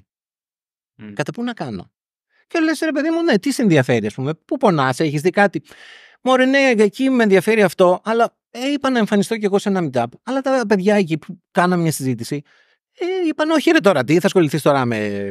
Κοίτα, τώρα που το λες, επειδή το σκέφτομαι, δεν το είχα σκεφτεί πριν το πει ο Γεράσιμος σε αυτό το επίπεδο. Θυμάμαι ότι υπάρχουν, έχουν υπάρξει διάφορες στιγμές που ο κόσμος έχει κοροϊδέψει τεχνολογίες που ασχολούμαστε εμείς. Απλά, μάλλον εμείς όσοι είμαστε χοντρόπετς και δεν μας νοιάζει. Και άμα βγάζει, δηλαδή, εσένα τώρα να σου κοροϊδέψει κάποιος στα themes, χέστηκες. Άμα βγάζει Παιδιά. πράγματα και δουλεύει. Ναι. Αλλά πόσες φορές έχουμε κοροϊδέψει τον Docker, το Swarm ή άλλα πράγματα τα οποία κάνουμε; Να τα κοροϊδέψουμε, Εγώ να, έχω τα- πει να καλό τα για την τρολάρουμε. Just δημοσίως, αλλά νομίζω ότι το κάνω σαφές ότι κάνω πλάκα εκείνη. Να τρολάρουμε τα πάντα. Ναι. Ο, ο- τα πάντα. Αλλά θέλω να πω, υπάρχει ένα κοινό εκεί έξω. Είμαστε στην Ελλάδα. Δεν ξέρω πώς ήταν η Ελλάδα, η εμπειρία σας στην Ελλάδα την προηγούμενη δεκαετία. Εμένα πέρασε όλη από πάνω μου. Να. Οκ. Μ, δι- ε, γύρω μου λοιπόν έχω και ένα κοινό που το πέρασε, που πέρασε και αυτό μια ίδια κατάσταση. Σοβαρά πράγματα. Μμ. Και αυτά τα παιδιά τώρα προσπαθούν να βγουν σε μια αγορά εργασίας που υπάρχει, υπάρχουν περισσότερες εταιρείες, υπάρχουν περισσότερα startups. Λίγο καλύτερη από όσο ήταν πριν Φαντάζομαι από πέντε χρόνια. γνωρίζετε πώς ήταν το 2010. Δεν ξέραμε Ναι, ναι. αν- πού να μαζευτούμε να τα πούμε. Τώρα, ας πούμε, έχει 15 events σήμερα μόνο. Ναι. Πολύ θετικό. Όταν λοιπόν έχουμε βρει ήδη μια λύση για ένα πρόβλημα, το οποίο είναι τα meetups, τα events, για να έρθουμε πιο κοντά, να κάνουμε ψυχοθεραπεία ένας με τον άλλον, Μμ. δεν μπορεί αυτό το κοινό το οποίο το χρειαζόμαστε αυτή τη στιγμή. Το χρειαζόμαστε. Μμ. Θεωρώ ότι χρεια- είναι δηλαδή άνθρωποι πανέξυπνοι, είναι νέοι. Εγώ, Μμ. παιδιά, είμαι 45 αυτή τη στιγμή, δεν έχω την ίδια ενέργεια που είχα όταν ήμουν 25. Μμ. Δηλαδή δεν μπορώ να δουλέψω Σαββατοκύριακο με- δε- συνεχόμενα. Νομίζω ότι θα θέλω μια εβδομάδα ξεκούραση. Στα 25 δεν με ένοιαζε. Κοιμόμουν δύο ώρες, ξέρω εγώ, κάθε τρεις μέρες και εντάξει, όλα καλά. Μμ. Αυτά τα παιδιά λοιπόν έχουν όλα αυτά τα εφόδια και κολλάνε στο πώ πώς, πώς κάνω break-in, ρε παιδί μου, αυτή την αγορά. Άλλα μου λέει ο Νότης, άλλα μου λέει ο Πάρης, άλλο ο Αντώνη, άλλο ο Γεράς. Τι, τι γίνεται, ας πούμε, τελικά προς τα πού να κάνω; Μμ. Αυτό Γιατί που σου αρέσει είναι ο απάντηση, αλλά ναι. το θεωρείς εύκολο; δεν το θεωρώ εύκολο, αλλά το θεωρώ ίσως την καλύτερη λύση. Νομίζω ότι είναι πολύ δύσκολο. Δεν ξέρω, εσύ, Αντώνη. Να σου πω. Για πες. Πάλι πάμε πίσω. Δεν ξέρω σε τι σχολεία πήγατε, εγώ πήγα σε δημόσια σχολεία. Βγαίνουμε από ένα σχολείο το οποίο μας μαθαίνει να παπαγαλίζουμε. Okay. Θα πας εκεί, θα μάθεις από εδώ σε εδώ, θα το πεις, θα πάρεις άριστα, δεν ξέρω εγώ τι, θα πάρεις ένα βαθμό. Πας σε... Τουλάχιστον στην επαρχία πώς ήταν τα πράγματα. Φεύγεις από την επαρχία, παιδάκι μη υποψιασμένο για πάρα πολλά πράγματα. Έρχεσαι σε μια Αθήνα, σε ένα μεγάλο κέντρο, μπαίνεις σε ένα πανεπιστήμιο το οποίο είναι φωλιά για άλλων πραγμάτων εκτός από, το- από τις σπουδές. Δηλαδή Όλα τα άλλα ξεχωριστό. πολιτικές, νεολαίες, ακούω, δεν ξέρω εγώ τι. Και ξαφνικά τελειώνεις και αυτό, το προσπερνάς και όλο αυτό το δέδαλο, ας πούμε, το πλοηγείσαι και βγαίνεις στην αγορά εργασίας και λες, What the fuck, τι κάνω εγώ τώρα; Σε, με όλα αυτά τα εφόδια που πήρα. Γιατί δεν είναι τόσο κοινή λογική να κάνεις αυτό που θες πραγματικά. Ξέρω εγώ ανθρώπους που μου είπαν, Εγώ πονάω, ρε παιδί μου, για αυτή τη γλώσσα. Μ' αρέσει, την καταλαβαίνω, την νιώθω. Πώς μπορώ σε έναν εργοδότη να αποδείξω ότι το ξέρω; Φτιάξε ένα GitHub. Αυτό το φτιάξε ένα GitHub. Αν δείτε, Δεν παιδιά, απλό. πώς με κοιτάνε άνθρωποι που λένε τι δηλαδή. Δεν, Πήγαινε να δεν, είναι απλό, συμμετέχει. δεν είναι απλό καθόλου. Ε, θα νομίζω όμως ότι πλέον σήμερα στην Ελλάδα μιλάμε για προγραμματιστές. Μμμ. Κατά κύριο λόγο, ή τέλος πάντων ανθρώπους της τεχνολογίας workers, ναι. ευρύτερα, ας πούμε. Ε, θεωρώ ότι έχεις την δυνατότητα να πας σε 4-5 διαφορετικά πράγματα. Μπορεί να μην είναι όλες οι εργασιακές συνθήκες ίδιες, Ναι. μπορεί να μην είναι όλα ίδια, αλλά σε επίπεδο τεχνολογιών μπορεί να δοκιμάσεις. Άρα, μπορεί και τι να μην πας να δοκιμάσεις. Πήγαινε ένα χρόνο, ρε παιδί μου, σε κάτι που νομίζω ότι σου αρέσει και τι θα μα κάνει όμω σου κάνει. Συμφωνώ. Απλά εγώ λέω ότι ε, ο προθάλαμος που λέγονται πλέον events, meetups, συζητήσεις online Πρέπει να βοηθάνε σε αυτό. και αυτά τα παιδιά, παιδιά τα, σκου, τα σκανάρουν, δεν μπορείτε να φανταστείτε. Παρακολουθούν ανθρώπους, είναι stalkers πάρα πολύ. Μμ. Ε, Όχι με την καλή έννοια, ε. Ψάχνουν να βρουν ρε παιδί μου μονάδες που έχουν μια άποψη που κάνουν αυτή, αυτό εδώ το show, ας πούμε τώρα. Δηλαδή και σου λέει, και αυτή τι είναι, και πώς γιατί, και πώς βρέθηκαν εκεί. Και ο πελάτης, δηλαδή έχουν χίλια ερωτηματικά, όπως είχατε εσείς, όπως είχα και εγώ. Εμείς τότε δεν είχαμε ένα Γεράσιμο και ένα πάρει και ένα Αντώνη. Του πούμε, Έλα εδώ, κάτσε. Μμ. Έλα να τα πούμε. Τι θες να μάθεις, κομπόλ. Κομπόλ. Ε, ξέρεις τι, με την κομπόλ δεν υπάρχει αγορά πια, τελείωσε το 1960. Εντάξει, άμα θέλεις κομπόλο, αν και κομπόλο, έχω ακούσεις κάτι Μάλλον αυτοί θα άρες μείνουν γαμάτες. στο τέλος. ναι, ναι, Πιστεύω ναι, ότι μόνο αυτοί θα μείνουν στο τέλος, δηλαδή μόνο αυτοί θα Το έχουν. Τζάτζ επειδή δεν θα ασχολείται. Αλλά είναι άλλη δουλειά, ναι. Όχι, εκείνη πιστεύω ότι δεν έχει πρόσβαση, οπότε. Αυτό, ναι, ναι, αυτό που λέω πάντως σε κόσμο που. δηλαδή και μ, σε ξαδέρφια μου και σε ανήψια μου που σιγά σιγά αρχίζουν και μπαίνουν σε αυτό είναι το ότι δεν έχει πολύ σημασία. Εγώ αυτό είναι που προσπαθώ να πω. 100%. Προσπαθώ να πω ότι ξέρεις τι, ξεκίνα. Γενικά, εγώ πιστεύω ότι για να κάνεις αυτό που θες πρέπει πρώτα να το κάνεις. Ναι. Και μετά, και μετά βλέπεις ότι τελικά εγώ αυτό θέλω να κάνω. Διαφορετικά είναι μια προσδοκία. Υπάρχει. Ξεκίνα να δοκιμάζει πράγματα. Το ρίσκο είναι μικρό. Δηλαδή, αυτό κάνω εκεί. Θα φτιάξεις τη σελίδα σου, γράψει λίγο HTML. Σ' αρέσει αυτό το πράγμα; Α, οκ. Άμα αυτό δεν σ' αρέσει, πάρε και δοκίμασε την Python για να κάνεις υπολογισμούς. Σ' αρέσει το κομμάτι του data; Αν Ναι. δεν σ' αρέσει Python, δοκίμασε άλλο. Δηλαδή, κα, κα, κάπως θέλει μια ψαξιματική για να δεις προς τα πού θα πας. Μμμ. Εμένα, το κομμάτι της έπαρσης που. Θα μείνω στο τεχνικό γιατί θεωρώ ότι υπάρχει μια γενικότερη σε πολλά διαφορετικά. Το άλλο το αφήνω απ' έξω. Αλλά θα σου πω και κάτι άλλο το οποίο μένα μου είχε τύχει σε ένα Docker Meetup μια φορά. Ε, τα events του Docker στην Αθήνα τα οργανώνουμε με τον Αντώνη. Και είναι ένα event που είχε έρθει ένα άτομο να κάνει μια παρουσίαση. Και κάπως από το κοινό κάτω κάνει μια ερώτηση η οποία ήταν 10 στα 10 passive aggressive, δεν ξέρω πώς να το πω. Ήταν μια ερώτηση για να σου δείξω ότι εσύ που παρουσιάζεις δεν ξέρεις. Ναι, οκ. Δεν ξέρω αν καταλαβαίνετε τι Stack, λέω. Stack Overflow ερώτηση. Stack Overflow ερώτηση. δηλαδή, Εντάξει, δεν ξέρω τι είναι πιο τοξικό, το Και το- Πολώνιο ή το Stack Overflow. Και είμαι εκείνη, δηλαδή. τη στιγμή, είμαι εκείνη τη στιγμή από κάτω και είμαι να, με- να με καταπιεί η γη, ρε παιδί μου, δηλαδή, εγώ που το βλέπω αυτό. Και λέω, εμείς γενικά προσπαθούμε να κυνηγάμε κόσμο να έρθει να κάνει παρουσιάσεις, να μιλάει ακόμα και αν κάτι είναι πάρα πολύ basic, γιατί θεωρούμε ότι έχει σημασία. Ένα πράγμα που λέμε τελευταία με τον Αντώνη είναι το ότι πας στο εξωτερικό και βλέπεις ότι υπάρχει οικοσύστημα. Στην Ναι. Ελλάδα δεν υπάρχει και στην Αθήνα. Ε, γίνονται πράγματα, αλλά δεν μπαίνεις μέσα σε ένα καφέ και διπλανός έχει ανοιχτό το φύγμα. Εντάξει. Λοιπόν, οπότε πρέπει κάπως αυτό να το καλλιεργήσουμε. Και λέω πώς θα καλλιεργήσεις να έρθει ο άλλος να εκτεθεί και να επικοινωνήσει όταν από κάτω βρίσκεται το πειράχας; Θα σου πω. Ε, για, ε, για το κοινό που είναι ήδη στην αγορά, έχω να πω ότι το μόνο που έχω να πω είναι deal with it. Δηλαδή είναι skill που πρέπει να αποκτήσεις. Πρέπει να αποκτήσεις χοντρή πέτσα. Δεν, δηλαδή προσωπικά δεν έχω να πω τίποτα για ανθρώπους που είναι 10-20 χρόνια στην αγορά και είναι ψυχασθενείς.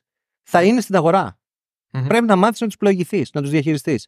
Όχι να τους φτιάξεις. Ποιος είσαι εσύ να πεις σε ποιον τι. Όχι να φτιάξεις. Δεν, δεν... Λέω. Ναι. Έτσι. Αν θες να κάνεις κάτι, ξεκίνα από αυτά τα παιδιά. Δηλαδή από παιδιά που είναι τελείως στα χαμένα, δώσ' τους μια γραμμή. Καλλιέργησες ένα κλίμα για αυτούς και θα δεις ότι αυτοί θα το πάρουν και θα κάνουν κάτι αντίστοιχο. Θέλω να πω εσύ, Παρή, αν ήμουν εγώ τώρα εδώ υπάλληλό σας και εσείς οι δυο ήσασταν, ας πούμε, στα χαμένα, δηλαδή με... μου κάνατε review και είχατε και υφάκι, είχατε και γλώσσα, είχατε και ηρωνία, περνάγατε και καμιά σπόντα από πίσω. Mm. Σαν junior. Θα σκοβόταν τα πόδια. Όχι, αυτό θα θεωρούσα ότι είναι default στην αγορά και όταν θα ήμουν και εγώ senior, μάλλον κάτι αντίστοιχο θα έκανα. Α, ναι. Έτσι πιστεύω ότι πάει αυτό. Με όποιο Σίγουρα. δάσκαλο καθίσεις. Mm. Δεν είναι ένα μηδέν. Είναι ακόμα άνθρωποι γράφουν κώδικα, ακόμα άνθρωποι σχεδιάζουν Για λίγο ακόμα. Mm. για λίγο ακόμα, για όσο είναι τέλος πάντων. Οπότε, ένα παιδί που ξεκινάει τώρα θεωρεί ότι αφού έτσι γίνονται τα πράγματα εδώ, έτσι θα γίνουν και αργότερα. Και όταν θα φτάσω και εγώ σε ένα πόστο που θα έχω και δύο ανθρώπους από κάτω, μάλλον κάπως έτσι θα το διαχειριστώ γιατί δεν τρέχει τίποτα. Είδες, τι- είδες τι μας είπες εσύ, συγγνώμη, όταν ήμασταν στο, στο καφέ, που λες ότι οι άνθρωποι είχαν ε, στο, στο Shopify, που είχαν απαιτήσεις, επικοινωνιακά όμως ήταν ε, πολύ, Πολύ καλοί. ευχάριστη. Και λέω εγώ ότι ξέρεις τι είναι, άλλο το να έχεις απαιτήσεις και άλλο το. Δεν έχεις λόγο, άμα είσαι πολύ απαιτητικός, να είσαι αγενής ή να έχεις ύφος. Και λες ότι δεν το είχα συνηθίσει εγώ όμως αυτό Δεν το έχω πράγμα. συνηθίσει. Ακριβώς, δεν το έχω συνηθίσει. Άρα συζητάμε τώρα να μην είσαι μαλάκας βασικά για να τα λάβω. Ναι, απλά αν θες να είσαι μαλάκας σε έναν άνθρωπο που έχετε τέτοια χρόνια εργασιακής εμπειρίας, να είσαι. Who cares. ας Οφείλει να μπορεί να το διαχειριστεί ο άλλος. Επίσης, αυτό που έχω να πω εγώ είναι ένα τσεκ που πρέπει να κάνουμε, ρε παιδί μου, επειδή κάποιοι άνθρωποι κατάφεραν και βγάλαν καλά χρήματα και μπράβο τους. Εγώ χαίρομαι με τη χαρά των ανθρώπων, παιδιά. Δεν μπορώ να βλέπω ανθρώπους να υποφέρουν. Δηλαδή, μ' αρέσει. Θες να είσαι και ψωνισμένος να είσαι.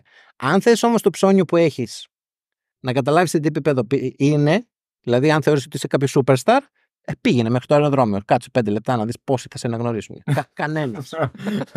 δηλαδή είσαι, είσαι ένας Ναι, ναι. micro superstar, ρε παιδί μου, σε ένα micro niche, ας πούμε, στο κοινό σου. Μην το ξεχνάς αυτό. Δηλαδή, γιατί είναι και μερικοί που έχουν μια στάση που θεωρούν ότι εντάξει, έχουμε κατακτήσει τον κόσμο. Μπράβο. Αλλά. Οκ. Εντάξει, άμα τον έχεις κατακτήσει, μέσα θα το ξέρεις, δεν ξέρω. Δεν, ναι, δεν, δεν ξέρω, δεν με αφορά αυτό. Αλλά για, σου λέω, για- ε, επιμένω για ανθρώπους που είναι χρόνια στην αγορά και έχουν καταφέρει πράγματα. Α είναι όπως θέλουν, ο καθένας. Οπότε είναι ένα παιδί που είναι τώρα στο Λύκειο και έχει δώσει πανελλήνιες και σκέφτεται να πάει να Και πιο ασχοληθεί. μετά. Και πιο μετά και είναι, λέει, Α, μήπως ασχοληθώ με, το είναι στα προγρα- χαμένα. με τον προγραμματισμό. Εσύ τι θα του έλεγες; Εγώ θα του έλεγα ακριβώς αυτή την ανάλυση που κάνατε εσείς. Ξεκίνα, γράψε τη σκέψη σου καταρχάς. Ένα blog. Το πιο Έτσι. απλό. Δεν είναι φοβερό που ο κόσμος δεν έχει blog πλέον. Δηλαδή, εγώ Ναι, θυμάμαι είναι στην τρομερό. εποχή μας ήταν αστείο Στείλ να σε μην μια έχεις- κάμερα. Εγώ λέω blog γιατί ξέρω ότι πολλοί άνθρωποι κολλάνε στο να βγουν σε μια. Αυτό. Έτσι. Ε, Σεβαστό. Δεν... Υπάρχουν πολλοί που είναι πολύ ισοστρεφείς, ρε παιδί μου. Το, το blog όχι μόνο για τη διαδικασία του να γράψεις. Φτιάξε κάτι. Άμα θες να ασχοληθεί με το web, το να φτιάξεις ένα blog είναι, ξέρεις, one-on-one. Πώς να σου πω, είναι το πιο βασικό πράγμα. Το πιο απλό πράγμα. Φτιάξε μια σελίδα με τη φάτσα σου Ακριβώς. και πέντε λόγια για σένα. Ένα δηλαδή. ημερολόγιο προσωπικό.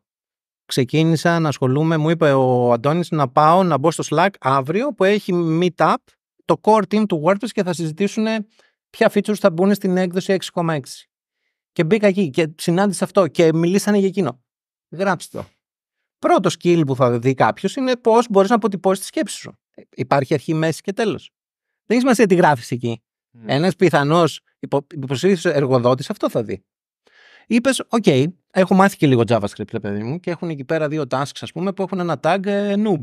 Πάρ, ε, βάζουν tasks τα οποία είναι, ξέρεις, πολύ καλό για πρώτο task. Ε, good first Ναι. issue, Ναι, νομίζω, ναι. και το GitHub ένα στάνταρ. Ναι, ναι. Πήρα το task, παιδιά, και έκανα αυτό και έκανα εκείνο. Να και το σνιπετάκι και πέρασε και έχω και το πρώτο contribution Μμ. στο WordPress. Contribution στο WordPress δεν θα δει καν ο άλλο τι είναι. Θα πει Α, είσαι τι core contributor. Τι έχεις κάνει, δεν έχει σημασία τι έχεις κάνει. Ο άλλο έχει πει και έχει αλλάξει ξέρω εγώ, ένα κόμμα και έχει ότι είναι core contributor. η διαδικασία του να περάσεις, να ανοίξεις ένα branch, να πουσάρεις κώδικα, να μπεις στη διαδικασία του review, να περάσεις αυτό το review, δεν έχει σημασία γιατί είναι. Μπορεί να είναι όντως για ένα κόμμα. Αλλά Σκέψτε όλο όλο αυτό, αυτό να το είναι γράψεις φανταστικό. σε ένα post. Μμ. Έκανα αυτό, έκανα εκείνο. Γράψα ένα tutorial για τους φίλους. Μμ. Παιδιά, έτσι γίνεται εκεί η δουλειά. Εγώ νομίζω ότι είναι εισιτήριο αυτό το πράγμα. Δηλαδή, ξεκινούσα σήμερα, έτσι θα το έκανα. Μμ. Ό,τι, με- ό,τι προβληματισμό είχα, θα το έβαζα σε αυτό το blog. ξέρεις που έχω την αμφιβολία. Γιατί και εγώ σκέφτομαι πάρα πολύ έτσι. Και γενικά, εγώ μαθαίνω πάρα πολύ προσπαθώντας να μάθω σε κάποιον άλλον κάτι. Μμμ. δηλαδή, μου τυχαίνει ρε παιδί μου σε, σε concept, σε πράγματα τα οποία μπορεί να μην έχω ασχοληθεί, να έχω ασχοληθεί πολύ επιφανειακά. Όταν χρειάζεται να το περάσω αυτό σε σένα, στον μπαρ ή σε κάποιον άλλον, θα το μάθω για να. Δηλαδή, μου είναι πιο εύκολη η διαδικασία έτσι. Μήπως όμως το μυαλό μας δουλεύει διαφορετικά. Μήπως όλος ο κόσμος δεν είναι έτσι, δεν ξέρω γι' αυτό. Αλλιώς Θα Και σου- εγώ θα πήγαινα στην σου λύση πω. που λες. ε, μαζί με το κανάλι τώρα και μαζί με το τυχαίο γεγονός ότι υπάρχουν μερικές χιλιάδες νέοι άνθρωποι που ακολουθούν αυτό το κανάλι και περιμένουν ε, το νέο βίντεο να τους πω ε, «Οφ, το κοντό μου και το μακρύ μου. Το, το κλασικό κανάλι που είχες. Ναι, ναι, όχι αυτό είναι. Αυτό. Έκατσα και ασχολήθηκα προσωπικά με κάποιους από αυτούς τους ανθρώπους. Δεν ε, αφιέρωσα χρόνο. Τους είπα, στείλε μου, στείλε μου.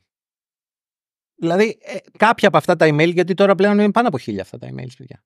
Τι λες ρε, εσύ, Ναι. οκ, φοβερό.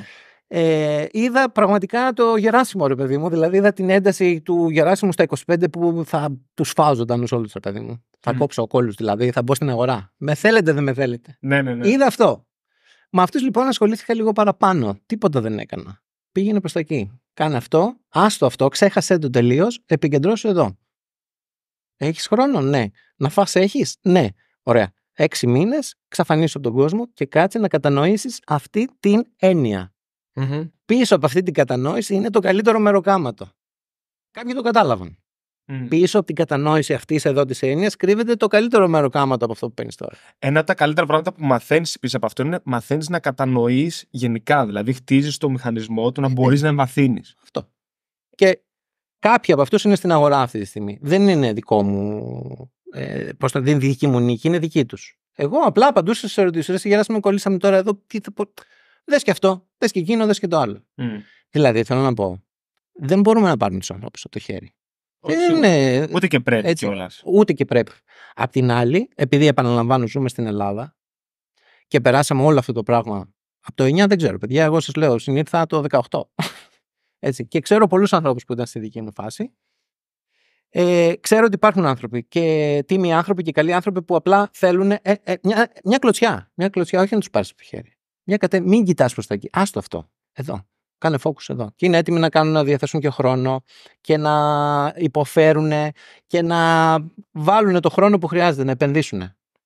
Έτσι. Απλά αυτό το κοινό δεν χρειάζεται μια συζήτηση σε ένα meetup το οποίο εμφανίζεται ο Γεράσιμος με τον Κοίτα τι γράφουν οι πλάκες μου. Ακόμα με JavaScript, ασχολούνται, με jQuery ασχολούνται. δεν χρειάζεται αυτό. Μμμ. Έλα να το πούμε οι δυο μας από πίσω από το τοίχο. Όταν είναι νέα παιδιά μπροστά, ανοίξτε τα χέρια σας, καλοδεχτείτε τους και εξηγήστε τους, ρωτήστε τους τι είστε εσείς, ποιοι είστε, γιατί είστε εδώ.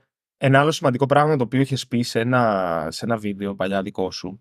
Νομίζω βίντεο ήταν, αλλά δεν έχει σημασία, ήταν σωστό έτσι κι αλλιώς. Είναι το να ανοίγεις τα πηγαδάκια στα meetups. Και όταν Εννοείται. βλέπεις και ανθρώπους οι οποίοι είναι και λίγο πιο εσωστρεφείς και μαζεμένοι, πήγαινε μίλα τους λίγο. Ένα πράγμα, που, Αυτό εμένα μου έχει μείνει από τότε. ένα πράγμα για το οποίο εκτιμώ τον πάνω που είχατε τον Παπαδόπουλο την προηγούμενη φορά είναι αυτό.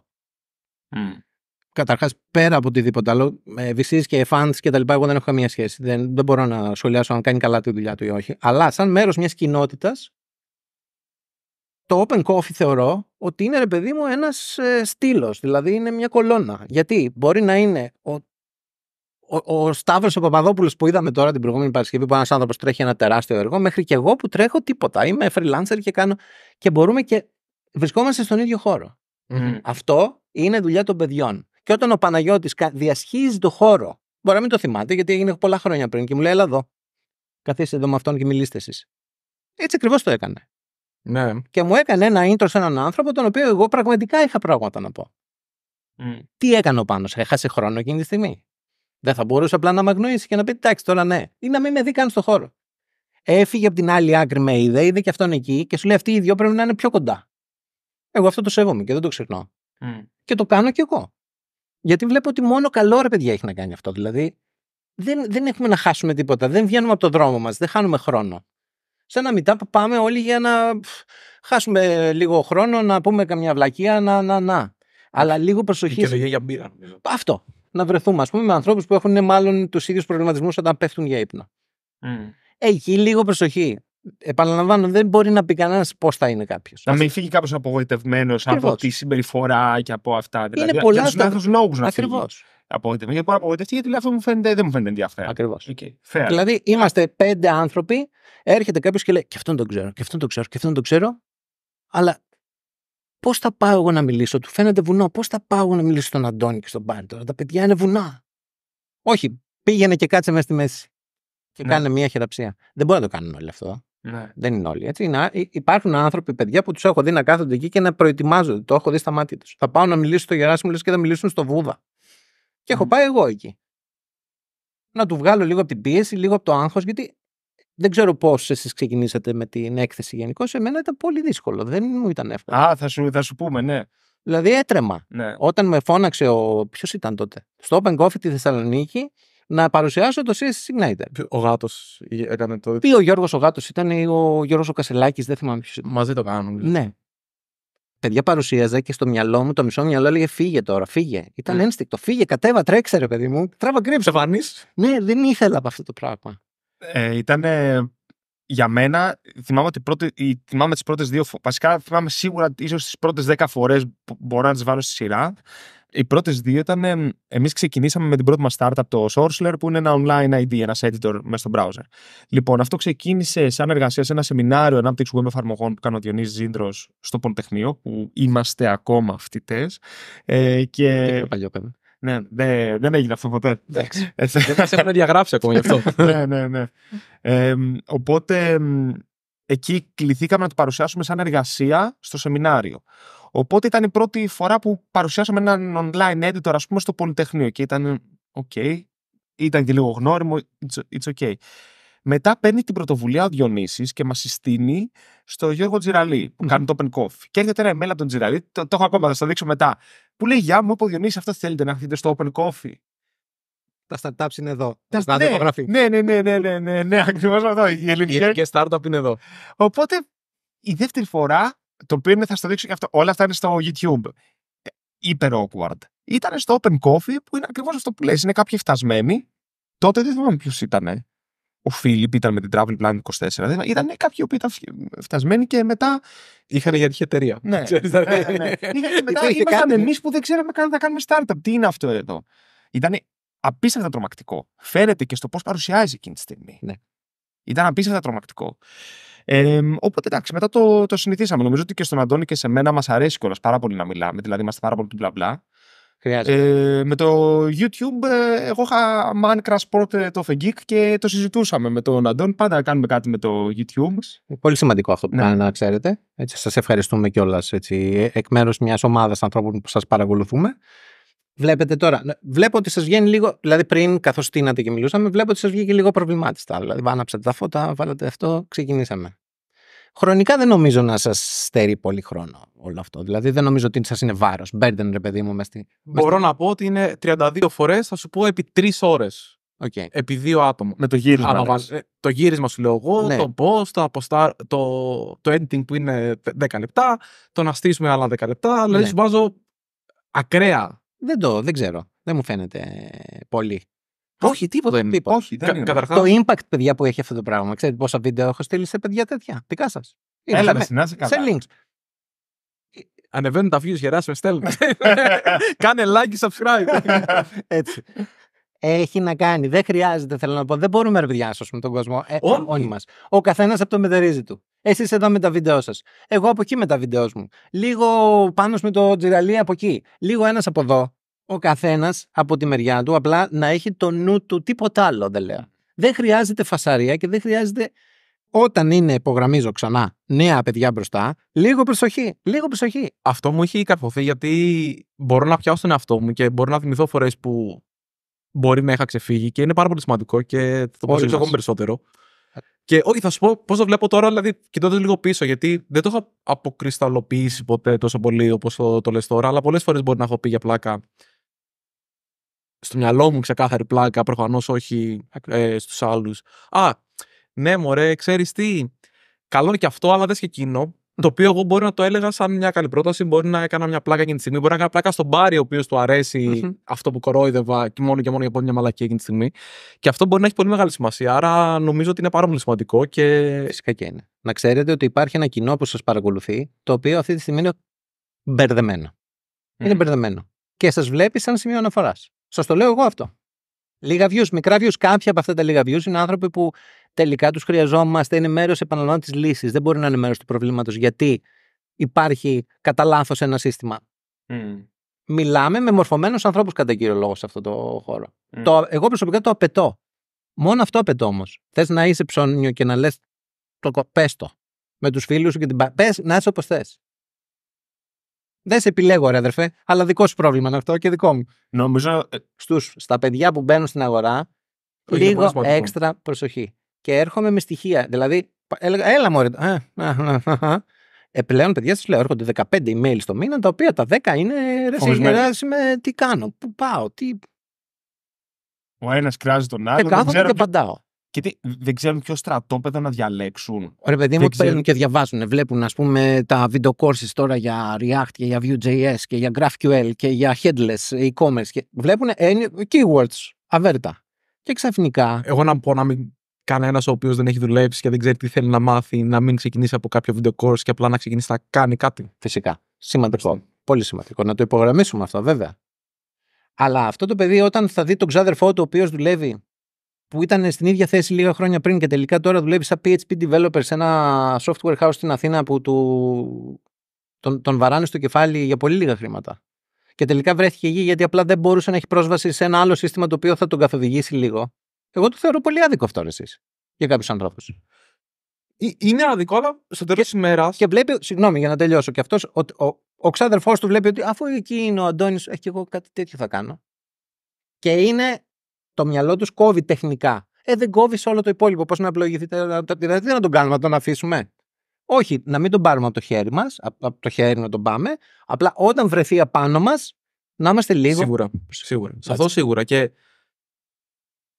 κάτι το οποίο νομίζω συζητήσαμε λίγο και στο επεισόδιο με τον Πάνο, το οποίο το, το ανέφερες, ε, είναι και λίγο η, το να είσαι λίγο πιο ανοιχτός. Δεν είναι κακό να μοιραστείς νούμερα, εμπειρίες, αποτυχίες. Δηλαδή είμαστε και λίγο όλοι. Πρέπει όλα να είναι έτσι ταυτοποιημένα σε κουτάκια, όμορφα. Ναι. Να κάνεις το ωραίο editing μετά στο βίντεο, να ακουστεί Όχι. αυτό. Μην μπει τη μαλακή ο Αντώνη να την κόψει. Δεν χρειάζεται όλο αυτό. Αυτό θα πάρει πολλά χρόνια. Χρειάζεται και λίγο πιο, ε, πιο αυθόρμητο. Εντάξει, αυτό νομίζω τώρα, επειδή έχω ξεκινήσει για καμιά 8 ετία και διαβάζω και ιστορία για την Ελλάδα, πιστεύω ότι θα πάρει καμιά άλλα 100 χρόνια να συμβεί. Δηλαδή, στο να είμαστε ανοιχτοί με πράγματα που θεωρούνται ε, ταμπού, νούμερα, δεν ξέρω εγώ τι. Ε, υπάρχει λόγος για πολλούς ανθρώπους που δεν το κάνουν, φοβούνται. Ναι, Έτσι, αλλά γιατί δεν οι είναι άνθρωποι- για όλους. Δεν είναι για όλους, ναι. Παρ' όλα αυτά, ε, πώς να σου πω, και αυτό πρέπει να το καλλιεργήσουμε. Να, ας πούμε. Έρχεται ο Παναγιώτης και μιλάει ελεύθερα. Τον βλέπουν τα παιδιά που λέω εγώ, τον Παναγιώτη. Λένε, οκ. Χρειάζεται δηλαδή ο Παναγιώτης και ο κάθε Παναγιώτης σε αυτή τη διαδικασία. Και υπάρχουν πάρα πολλοί Παναγιώτηδες που θα μπορούσαν να περάσουν από εδώ και να πούνε την αλήθεια τους, τίποτα άλλο. Τίποτα άλλο. Δεν χρειάζεται, θέλω να πω, υπερβολή, δεν χρειάζεται φασαρία. Όχι, όχι. Και α, αυτό που είπες, ας τραβήξει ο καθένας έναν δύο. Δηλαδή, Ακριβώς. ένα να τραβήξεις, διπλασιάζεις αυτόματα το. Δηλαδή, είναι εκθετικό το μετά. Το... Έτσι. Γιατί δεν ξέρω ρε εσείς. Ακούω συνέχεια για το ότι η Ελλάδα και η Ελλάδα και η Ελλάδα. Τι ε, θετικό, αρνητικό. Και θετικά και αρνητικά. Και α, όταν έρχεται συζήτηση στο αρνητικό κομμάτι, που έχει προβλήματα και οι άνθρωποι είναι έτσι και κάπως δεν πρέπει να υπάρχει ένα, ένα τείχος απέναντι σε αυτό. Δεν πρέπει να υπάρχει μια απάντηση. Μμ. Όλοι μας μπορούμε να κάνουμε πολύ συγκεκριμένα πράγματα σαν μονάδες. Δεν μπορούμε να σώσουμε την Ελλάδα. Δεν ξέρω αν χρειάζεται βασικά να, να μπει κανένας σε αυτή τη λογική. Νομίζω θα πνίγει και ψυχολογικά. Δεν να ξέρω, πει, δεν- θα την ναι. πάρω εγώ πάνω μου. Μα, δεν είναι γίνονται αυτά τα βαριά. πράγματα. Ναι. Ή ακούω νέα παιδιά, όχι, εγώ θέλω. Απόφοιτο, ας πούμε, να συζητάμε ότι ναι, εγώ θέλω να προσπαθήσω όμως στην Ελλάδα. Όχι, bro. μου. Όπου είναι κακό Όπου για γης και πατρίς αυτή τη Είσαι σε survivor mode αυτή τη στιγμή. Μμ. Πρέπει να σώσεις το τομάρι σου πρώτα, να φτιάξεις λίγο τον εαυτό σου, να σταθείς στα πόδια σου και μετά, αν η κοσμοθεωρία σου είναι τέτοια που λες, θα πάω πίσω να βοηθήσω κι εγώ με τον τρόπο μου. Μμ. Κάντο. Αλλά πρώτα πρέπει να μπορείς να ζήσεις. Τη μάσκα πρώτα εσύ και μετά ο άλλος. Πώς θα βοηθήσεις δηλαδή. Δηλαδή, ωραίο ρομαντικά αυτό που λες, να βάλω κι εγώ πλάτη, αλλά να βάλει πλάτη πού; Είναι η πλάτη σου γέρο για να αντέξεις όλο αυτό που έρχεται. Είμαστε λίγο ή της θυσίας ή της. Ναι, κάπου ρε παιδί της μου, υπερβολής γενικά. Ήταν, ήταν αυτό που ε, κάναμε το επεισόδιο με τον Πάνο που συζητούσαμε για τα αφηγήματα του, της δουλειάς του εξωτερικό σε σχέση με την Ελλάδα και όλα αυτά και υπήρξαν πολλά σχόλια λες και εμείς λέγαμε ότι στο εξωτερικό είναι το χειρότερο και μην δουλέψεις και δηλαδή Πώς πολλοί- είναι το χειρό; όπου όχι πολλοί αντιμετωπίσαν το βίντεο έτσι που είναι Α. αυτό το οποίο λέει ο Αντώνης ότι δηλαδή είμαστε ή του πηγαίνουμε δηλαδή στα, Εγώ βλέπω τώρα, ξέρεις, στα άκρα. Ανθρώπους που ζουν στην Ευρώπη κυρίως και λέω ρε γαμώ, τι ωραία που είναι αυτοί εκεί πέρα. Μένουν και εκεί ωραία. Αλλά δεν δεν θα έχουν και εκεί Κοίτα, προβλήματα. Το, α, ακριβώς αυτό είναι το ένα, ότι το pick your own poison που λένε. Διάλεξε το δηλητήριο που, που θες, ρε παιδί μου. Το κάθε Αυτό. τι έχει τα καλά του και τα, και τα κακά του. Εσύ περνάς καλά εκεί που περνάς καλά και μπορείς να προσφέρεις όταν εσύ είσαι καλυμμένος. Για να προσφέρεις σημαίνει ότι υπάρχει πλεόνασμα. Ακριβώς. Αλλά θεωρώ για να ε, ε, να συμφωνήσω με αυτό το οποίο είπες. Ειδικά στην αρχή έχει σημασία τα άτομα να παίρνουν διαφορετικά ερεθίσματα. Και το εξωτερικό είναι ένας πραγματικό. Και όταν λέω εξωτερικό εννοώ οι πιο βορειοδυτικές χώρες. Είναι ένας διαφορετικός τρόπος λειτουργίας που θεωρώ ότι είναι χρήσιμος Ναι. κάποιος να, να τον δει. Να έχει, να έχει αυτή την, την εμπειρία, να δει πώς δουλεύουν αυτοί οι άνθρωποι. Γιατί στην Ελλάδα θεωρώ ότι με το επαγγελματικό γενικά υπάρχει μια ανασφάλεια. Μην χάσω τον πελάτη, μη και δεν τον έχω χαρούμε. Υπάρχει ένα, ένα, ένα τέτοιο άγχος. Αυτό δεν το βλέπω τόσο στο σ- βορειοδυτικά. Και επίσης και προς την Αμερική, σε σε σχέση με αυτό που λέει και ο Αντώνης, δεν βλέπω και φόβο της αποτυχίας καθόλου. Δηλαδή. Ναι, εντάξει. Εγώ έχω άλλη εικόνα γιατί είμαι σε άλλη αγορά. Δηλαδή η αγορά η ελληνική Ναι. του ανθρώπου που φτιάχνει website για άλλους ανθρώπους είναι ολόιδια, παιδιά, παντού. Universal, πώς να σου πω. ίδια προβλήματα παντού. Τίποτα δεν Και άλλο. του freelancer εννοείς. Ενός δύο ατόμων που φτιάχνουν ε, μικρά websites για άλλους ανθρώπους. Θεματάκια. Θεματάκια. ναι, ναι, ναι. Κάνω πλάκα. Παντού, flat. Ναι, ίδια προβλήματα, ίδια θέματα, ίδιοι κακοί επαγγελματίες, ίδιοι κακοί, καλοί επαγγελματίες. Κάνουμε μια μικρή αλλαγή. Εξαφανίζονται και δεν πληρώνουν οι πελάτες, πιστόλια. Α, ναι. Παντού. Αυστραλία, Αμερική, Ινδία, παντού. Παντού, παντού. Οκ. Οπότε ναι, δεν έχω άποψη σε αυτό. Το συμφωνώ στο ότι ένα νέο παιδί πρέπει να μυρίσει όσα περισσότερα πράγματα γίνεται. Να Μμ. πάρει όσα περισσότερα γίνεται. Αν γίνεται, ας πούμε, να βγει έξω στο εξωτερικό, να πάει να δουλέψει. Θέλω να πω να μην βάζει ένα τείχο. Όχι, μωρέ, δεν θέλω να φύγω. Μην, το, μην, μην είναι τόσο γενικό αυτό. Δηλαδή, να υπάρχει μια απάντηση. Εσύ τι πήρες από την Αγγλία; Εγώ τι πήρα από την Αγγλία. Ε, πήρα έναν άνθρωπο ο οποίος μου έβγαλε την πλάτη. Δηλαδή όταν πήγα και μπήκα σαν, ο τίτλος μου ήταν HTML Developer, έχω ακόμα το contract. Οκ. Έτσι έλεγα. Έλα, ρε. Ναι, HTML Developer και η πρώτη μου, το πρώτο μου task ήταν να φτιάξω μια σειρά από εικονίδια, payment icons, να τα πάρω Ναι. και να τα κάνω resize. και να τα κάνω resize, αυτή ήταν η δουλειά. Ο HTML developer. Ο HTML Developer και να τα βάλω σε μια σελίδα τέλος πάντων. Και Ωραία. έρχεται ένας designer και μου λέει, ε, πέραν ότι δεν ρώτησες, ρε παιδί μου, για specs και τα λοιπά, το resize που έκανες είναι τέτοιο το οποίο πρέπει να έχεις σπάσει και 150 κανόνες τώρα από το book, το, ε, σπε- το, το spec του Visa logo, ας πούμε. Δηλαδή, μάλλον, δηλαδή, πώς να σου πω, μπορεί να έχουμε κάνει και ζημιά τώρα. Ναι. Χάρη το λογώντα. Αυτό που πήρα εγώ είναι ότι αυτόν τον άνθρωπο, εντάξει, είναι ρε παιδί μου, πώς να σου πω, είναι ο μέντοράς μου. Ήταν ένας πολύ αυστηρός σχεδιαστής, ένας άνθρωπος που δεν γελούσε ποτέ, ένας άνθρωπος που με, μου μιλούσε και άσχημα. Θα εξηγηθώ γι' αυτό, ήθελα να μιλήσουμε λίγο για αυτό το θέμα. Θα μιλήσουμε. Ε, μου έμαθε να διαχωρίζω πλήρως το κομμάτι business με το κομμάτι personal. Δηλαδή, όταν ήμασταν Φοβερό στη αυτό. δουλειά, αυτός μου το έμαθε αυτό, ότι δεν μιλάω για την ψυχή σου τώρα, μιλάω για το αποτέλεσμα της δουλειάς που έκανες. Μην τα μπερδεύεις. Μμ. Εκεί μπορώ να κάνω ό,τι θέλω. Anything goes, έτσι με πήγαινε, τρένο. Θες να γίνεις designer, οκ. Θα το πας όπως θα σου πω εγώ. Ήταν και σαν άνθρωπος ιδιότροπος, ήταν και έτσι αυστηρός, ας πούμε, αλλά το μάθημα που πήρα και το πήρα χωρίς να μου το δείξει, είναι ότι όταν σχολούσαμε και μετά πηγαίναμε και σε μια pub να πούμε μια μπύρα, με... ήταν λες και έβγαζε μια μάσκα, παιδιά. Και πώς είστε τώρα εδώ, και βολεύτηκες, θα χρειαστείς τίποτα. Ένας άλλος άνθρωπος. Το πρωί, δηλαδή. Εσύ ξέρεις, βάρτε το λάδι, ξέρω εγώ, όλη μέρα. το πρωί στην αρχή, ναι, είχαν χωθεί, έλεγα ρε γαμώτο, γιατί τόσο pressing, ας πούμε. Ναι, γιατί είχαν την πελάτη, σου λέω, είχαν πελάτη τη Lotus Cars.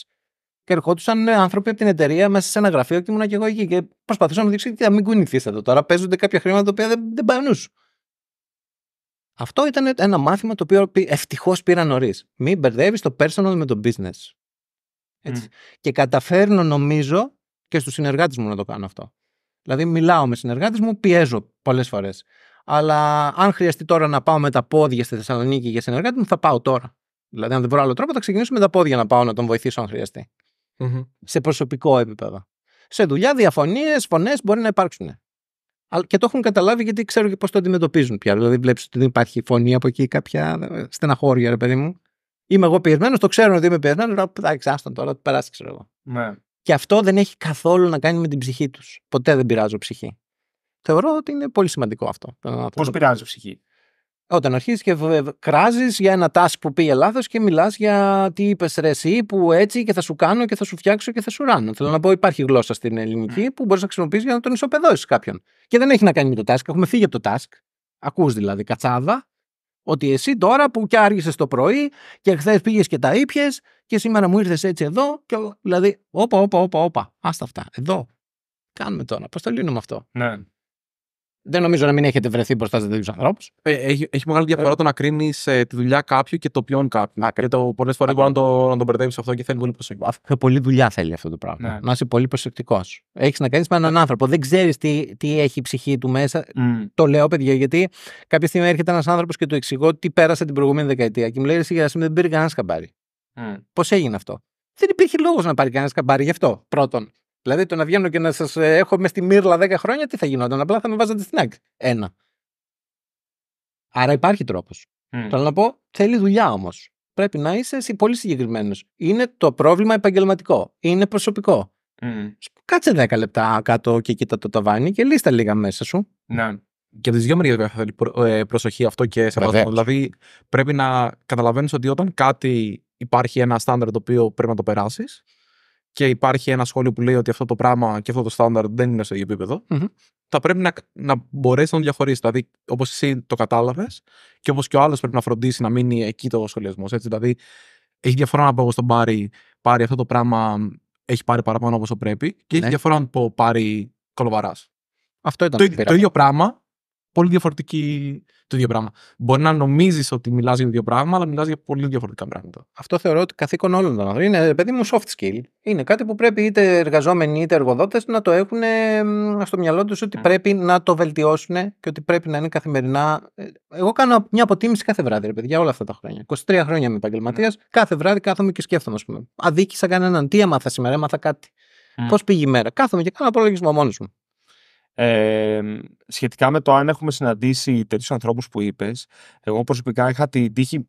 σ- Το 99% της εργασιακής μου εμπειρίας είναι μαζί με τον Αντώνη. Δηλαδή, γιατί πολύ νωρίς πριν. Βασικά, υπάρχει και η πιθανότητα να πάρουμε πτυχίο. Είχαμε ξεκινήσει την εταιρεία. Και έχω δουλέψει ένα πολύ μικρό διάστημα στην Αγγλία που είχα μ, πάρα πολύ καλό manager. ε, Έξι μήνες, τίποτα. Δηλαδή, όλα λειτουργούσαν όπως έπρεπε. Παρ' όλα αυτά, ε, το δύσκολο πράγμα με τη Sourceler, με την πρώτη εταιρεία, και την αναφέρω συχνά γιατί είναι το πρώτο παράδειγμα από εκείνη που είναι οι πρώτες εμπειρίες. Ήμασταν πέντε φίλοι. Το να διαχωριστεί το προσωπικό Ε, και αυτό ήταν αδύνατον. Ήταν αδύνατον. Έχω, οι φορές που έχουμε γίνει μπουρδέλο εδώ μέσα. Μπουρδέλο όμως. Δηλαδή, ναι, ναι, ναι, κατάλαβα. είναι, είναι, είναι- Πανικός. ναι, είναι και παραπάνω από όσες πρέπει, αλλά και το πόσο. Και το πόσο ξεχεστήκαμε ξέφευγε με Ναι. πράγματα. Είναι, παιδιά, είναι πολύ δύσκολο αυτό το Ναι. πράγμα. Επικοινωνία. Τώρα αυτό δεν ξέρω. Δεν, έχει πάρα πολύ καιρό να μου συμβεί κάτι τέτοιο. Ίσως είναι, είναι όντως ένα skin. Πάντως αυτό το οποίο βλέπω εγώ είναι το να εστιάζεις στη δουλειά. Δηλαδή, είναι άλλο το να λες αυτό, αυτό ξέρεις, δεν είναι καλό. Δεν πληρεί τα standards. Δεν, γιατί το δεν είναι καλό, τι θα πεις, είναι ότι δεν πληρεί τα standards. Ε, δεν, δεν, δεν, δεν προλαβαίνουμε. δεν- Α- Αυτά είναι facts τα οποία αφορούν τη δουλειά. Μπορείς όντω να χρησιμοποιήσει ό,τι γλώσσα θες. Γενικά, εγώ θεωρώ ότι δεν χρειάζεται να το πιέσεις πολύ. Υπάρχει τρόπος να δείξεις σε έναν άνθρωπο ότι μιλάμε για τη δουλειά. Και πες ότι θες, ρε παιδί μου, εσύ φώναξε για το φεγγάρι, ας Ναι. πούμε. Αν Όχι, συμφωνώ, ναι. είναι, τα- δεν είναι, αυτό είναι, είναι αίσθηση που μπορείς να δώσεις σε κάποιον με πέντε λέξεις ότι πω, τα κάναμε τώρα, δηλαδή. Ναι. Κουβάρι εδώ. Και είναι και το πώς νιώθεις και για τους συνεργάτες σου. Έχει τύχει, εγώ έχω ακούσει άνθρωπο ο οποίος να μιλάει για υπάλληλό του και να λέει εντάξει, το ξέρω ότι αυτός είναι μαλάκας. Ναι, όχι. Και εντάξει. λέω, «Α, αν μιλάει έτσι σε μένα για κάποιο άτομο στην ομάδα του, δεν υπάρχει περίπτωση να μην το εισπράξει αυτό το άτομο σε μια δύσκολη στιγμή. Ευτυχώς δεν έχω τέτοια θέματα. Έχω έναν ε, συνέτερο που εκτιμώ σαν άνθρωπο πρώτα απ' όλα. Δεν είμαστε φίλοι. Ε, είναι, είναι άσχετο. Γνωριζόμαστε 20 χρόνια. Από Ναι. την Αγγλία. Στην Αγγλία γνωριστήκαμε. Ε, συνεργαζόμαστε 15 χρόνια. Μένει στη Θεσσαλονίκη. Μένω εδώ. Βρισκόμαστε δύο-τρεις φορές το χρόνο για καθαρά θέματα διαχειριστικά. Δεν έχουμε προσωπικές παρτίδες. Δεν πάμε εκδρομές μαζί. Δεν πάμε ταξίδια Ναι. μαζί. Αλλά είναι ένας από τους πιο έξυπνους developers που έχω γνωρίσει ποτέ. Μμμ. Ο άνθρωπος δηλαδή το μυαλό του, του κόβει, ρε παιδί μου. Δηλαδή του λέω, εσύ ανάστη, μήπως ξέρεις WordPress; Όχι, μωρέ, αλλά τι μπορεί να είναι; Δηλαδή είχε ένα τέτοιο attitude, ας πούμε. Ναι, ναι, ναι. Εντάξει, θα το μάθουμε. Cool. Και από τότε έχει μια τέτοια θετικότητα και τον σέβομαι απόλυτα. Και προτιμώ να συνεργάζομαι με ανθρώπους οι οποίοι μπορεί να, ε, μην έχουν, να μην είναι οι καλύτεροι web workers, αλλά να είναι καλοί άνθρωποι. Δηλαδή, κοιτάω τα μάτια τους, δεν κοιτάω το GitHub τους. Μμ. Το υπόλοιπο θα το βρούμε, ρε παιδί μου, γιατί πρώτον δεν καινοτομώ. Δεύτερον, έχω ένα business το οποίο ε, το κάνω. Το mission είναι πολύ απλό. Να δώσω τη δυνατότητα σε ανθρώπους να φτιάξουν φθηνό website. Αυτό είναι το mission του προσωπικού μου σε αυτόν τον κόσμο πια. Όσο περισσότεροι άνθρωποι να μπορούν να φτιάξουν φτηνά ένα website. Οπότε δεν υπάρχει και λόγος να έχω απαιτήσεις ψηλές. Δηλαδή να συνεργαστώ με τους καλύτερους και τους, ε, ξέρω εγώ, Μμ. Ε, θα το φτιάξουμε. Το skill set που χρειαζόμαστε είναι συγκεκριμένο. Αν έχεις τη διάθεση θα το φτιάξουμε. Ας πούμε. Μμμ. Δηλαδή ε, ακούγεται μέτριο, αλλά για μένα ε, είναι πολύ μεγάλο, παιδιά. Δηλαδή είμαι πολύ περήφανος για τα προβλήματα Τι θα- που γιατί- έλυσε τι θα- αυτό το τι θα- έργο. Τι θα πει μέτριο. Ρε παιδί μου, υ- υπάρχει ο αντίλογος που λέει συνεργάσου με ανθρώπους που ξέρουν ακριβώς τι κάνουν, που είναι συγκεκριμένοι, μετρημένοι, δηλαδή που είναι τετράγωνοι. Οκ. Που έχουν όλο το πακέτο, πώς το λένε. Μμ. Εγώ δεν κοιτάω ποτέ έναν άνθρωπο πόσο καλά ξέρει, ξέρει μια τεχνολογία. Κοιτάω άλλα πράγματα. Δίνω πολύ μεγάλη σημασία στο τι άνθρωπος είναι, τι φτιαξιά είναι, από τι υλικό είναι φτιαγμένος. Νομίζω ότι έχει να κάνει με το πώς αρέσει να δουλεύεις. Δηλαδή, άμα αυτή τη στιγμή η μεγαλύτερη ανάγκη σου ήταν ε, να φτιάξεις το καλύτερο δυνατό website, Ναι. μπορεί αυτό το πράγμα να ήταν ε, πιο σημαντικό από αυτό Μπορεί. που τώρα. Μπορεί όμως η καθημερινότητά σου να είναι πιο σημαντική και οπότε αυτό το πράγμα να είναι πιο σημαντικό. Χωρίς να σημαίνει ότι οι άνθρωποι που έχουν τα χαρακτηριστικά τα οποία ψάχνεις δεν έχουν και άλλα. Έτσι. Απλά καταλαβαίνω ότι Φυσικά. αυτό είναι. Απλά μέχρι τώρα ο... έχω ένα συνεργάτη, εξωτερικό συνεργάτη, που όταν ε, εμφανίστηκε στην ομάδα δεν ήξερε βασικά πράγματα. Δηλαδή ε, ήξερε τεχνικά να γράψει HTML, CSS και JavaScript, αλλά κάτι ε, που συμβαίνει στο theming είναι ότι ε, που πολλοί front-end developers της εποχής, γιατί έχει αλλάξει πάρα πολύ όλο αυτό το κομμάτι, δεν καταλάβαιναν είναι ότι σε ένα template, σε μια σελίδα, μπορεί να προκύψει πολύ διαφορετικό περιεχόμενο. Δεν ξέρεις το περιεχόμενο. Δηλαδή, το Μμμ. να μου δώσεις πέντε μακέτες fixed και να στις κόψω, εμένα θεωρείται, το θεωρώ περίπατο αυτή τη στιγμή, γιατί είναι standard πράγματα. Ναι, που θα- ναι, ναι, ναι. Σε ένα theme δεν ξέρεις τι πε- περιεχόμενο θα προκύψει. Οπότε πρέπει να φερθεί στον κώδικα σου με τέτοιο τρόπο ότι είτε είναι εικόνες, είτε είναι headings, είτε είναι λίστες, είτε είναι paragraphs, είτε να κάτσουν σωστά. Αυτό είναι μια τέχνη. Αν δεν την ήξερε. Το παιδί ήξερε απλά να παίρνει πέντε μακέτες και να τις μετατρέπει ας πούμε σε valid κώδικα. Μμμ. Αυτός ο άνθρωπος από το 14 έως το 24 αυτή τη στιγμή δουλεύει σε μια ε, ε, εταιρεία στην Αμερική και παίρνει εξαψήφια μεγάλα νούμερα ας πούμε και χαίρεται τη ζωή του και αυτό. Μμ, μμ. Θέλω να πω. Ήταν καλός άνθρωπος όμως. Ήταν δηλαδή σπαθί. Τον είδα, ας πούμε, ότι εδώ θα το πάμε. Δεν στενοχωριόμαστε. Μμμ. Όπως και έγινε. Θετικότητα υπήρχε, όλα τα άλλα τα βρήκαμε. Αυτό εννοώ. Τι ήθελες να πεις για αυτό το manager που είχες στην Αγγλία που λες. Αυτό ήταν το κύριο μάθημα που πήρα από την Αγγλία. Ναι. Δηλαδή, αυτός ο άνθρωπος που μου δίδαξε αυτό. It's not personal, it's just business. ας πούμε. Αυτό ήταν αυτό που ήθελες να πεις σχετικά με αυτό. Ναι. Μμ. Ε, και το άλλο ήταν. Είδα ρε παιδί μου, δεν είχα μεγάλες, εμπει- μεγάλη εμπειρία από άλλες ομάδες. Ήταν μια καλή ομάδα, πολύ έμπειροι άνθρωποι. Δηλαδή, κάποιοι γράφανε βιβλία τότε για, την, ε, Οκ. για τη φάση. Η εταιρεία έγραφε σε Cold Fusion, αν την έχετε ακούσει. μια Wow, τεχνολογία. ναι, σαν Ντόμπιλ. ναι. Ο- ο- στο διπλανό γραφείο ήταν ο τύπος που είχε γράψει το popular βιβλίο της εποχής. Α, οκ. Στο Friends of Ed, το publishing house, ας πούμε. Ναι, είχαμε τέτοιες προσωπικότητες. Και εκεί είδα το δεύτερο μάθημα που πήρα ότι ο τύπο ενώ είχε γράψει βιβλίο, είχε best seller, ήταν. Έπαιρνε ολόκληρα τέτοια project στις πλάτες του μόνος του. Ήταν ένας ακόμα άνθρωπος που εντάξει, Ναι. δεν έτρεχε τίποτα. Δηλαδή, δ- αν εγώ εξαφανιστώ από τον πλανήτη, ο πλανήτης θα συνεχίσει να υπάρχει, ρε παιδί μου. Δεν, δεν τρέχει τίποτα. ναι. Κάναμε ένα cross-training τις Παρασκευές κάποιες ώρες και αυτός είχε, είχε φτιάξει ένα project για τη Citibank τότε όπου μπορούσε να επικοινωνήσει με Flash, Με κλα- Flash και Cold Fusion και έφερνε δεδομένα δυναμικά σε Flash. Ήταν πολύ big deal αυτό το πράγμα. παιδιά. ναι. Δηλαδή είχαν ένα πράγμα σε Java το οποίο θέλανε να το κάνανε σε Flash για κάποιους λόγους και το είχε φτιάξει όλο αυτός μόνος. Ακούγεται σαν τα single page applications. Ναι, ναι, της εποχής. Ναι. Της εποχής. Απλά ήταν δύσκολο ένα flash movie να επικοινωνήσει με πολύ περίεργα δεδομένα και real time. Ήταν big deal για την εποχή, όχι όπως τώρα.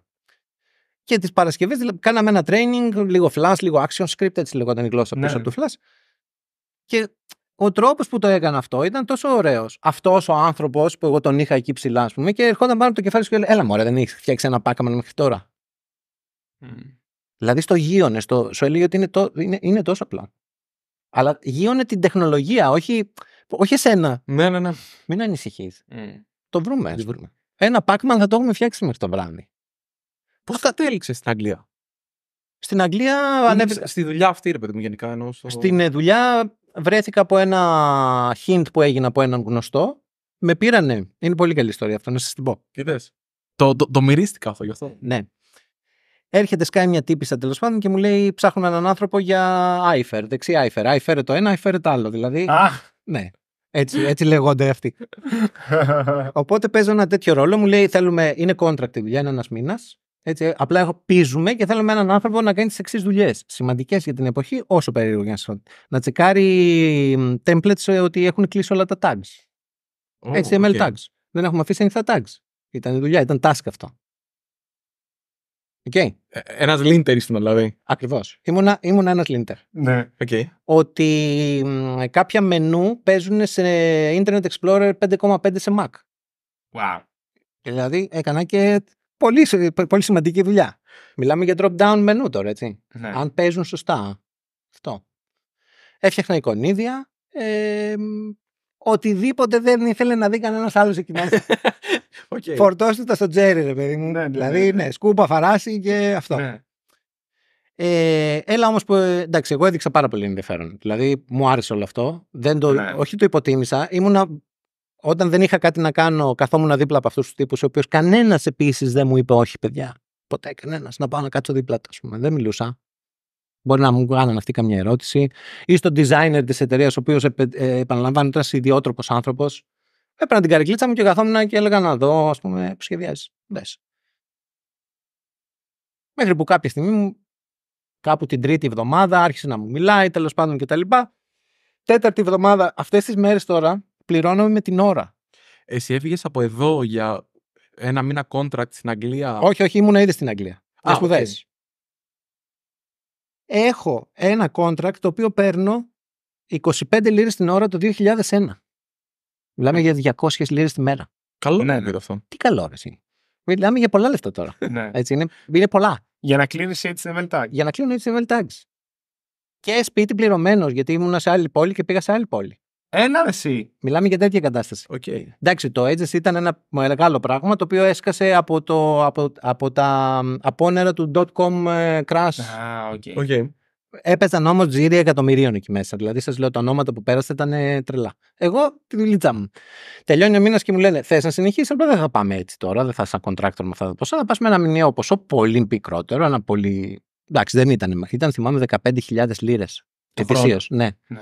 Χρήματα που με κάναν να τα φέρνω βόλτα απλά. Δεν ήταν ότι μπορούσα να κάνω. Μμμ. Δεν υπήρχαν τότε μπόνου και τέτοια πράγματα.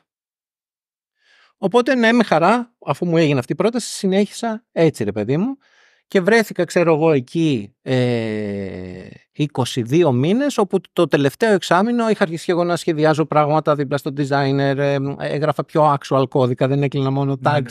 Δηλαδή, άρχισα να κάνω πιο production δουλειά, ας πούμε.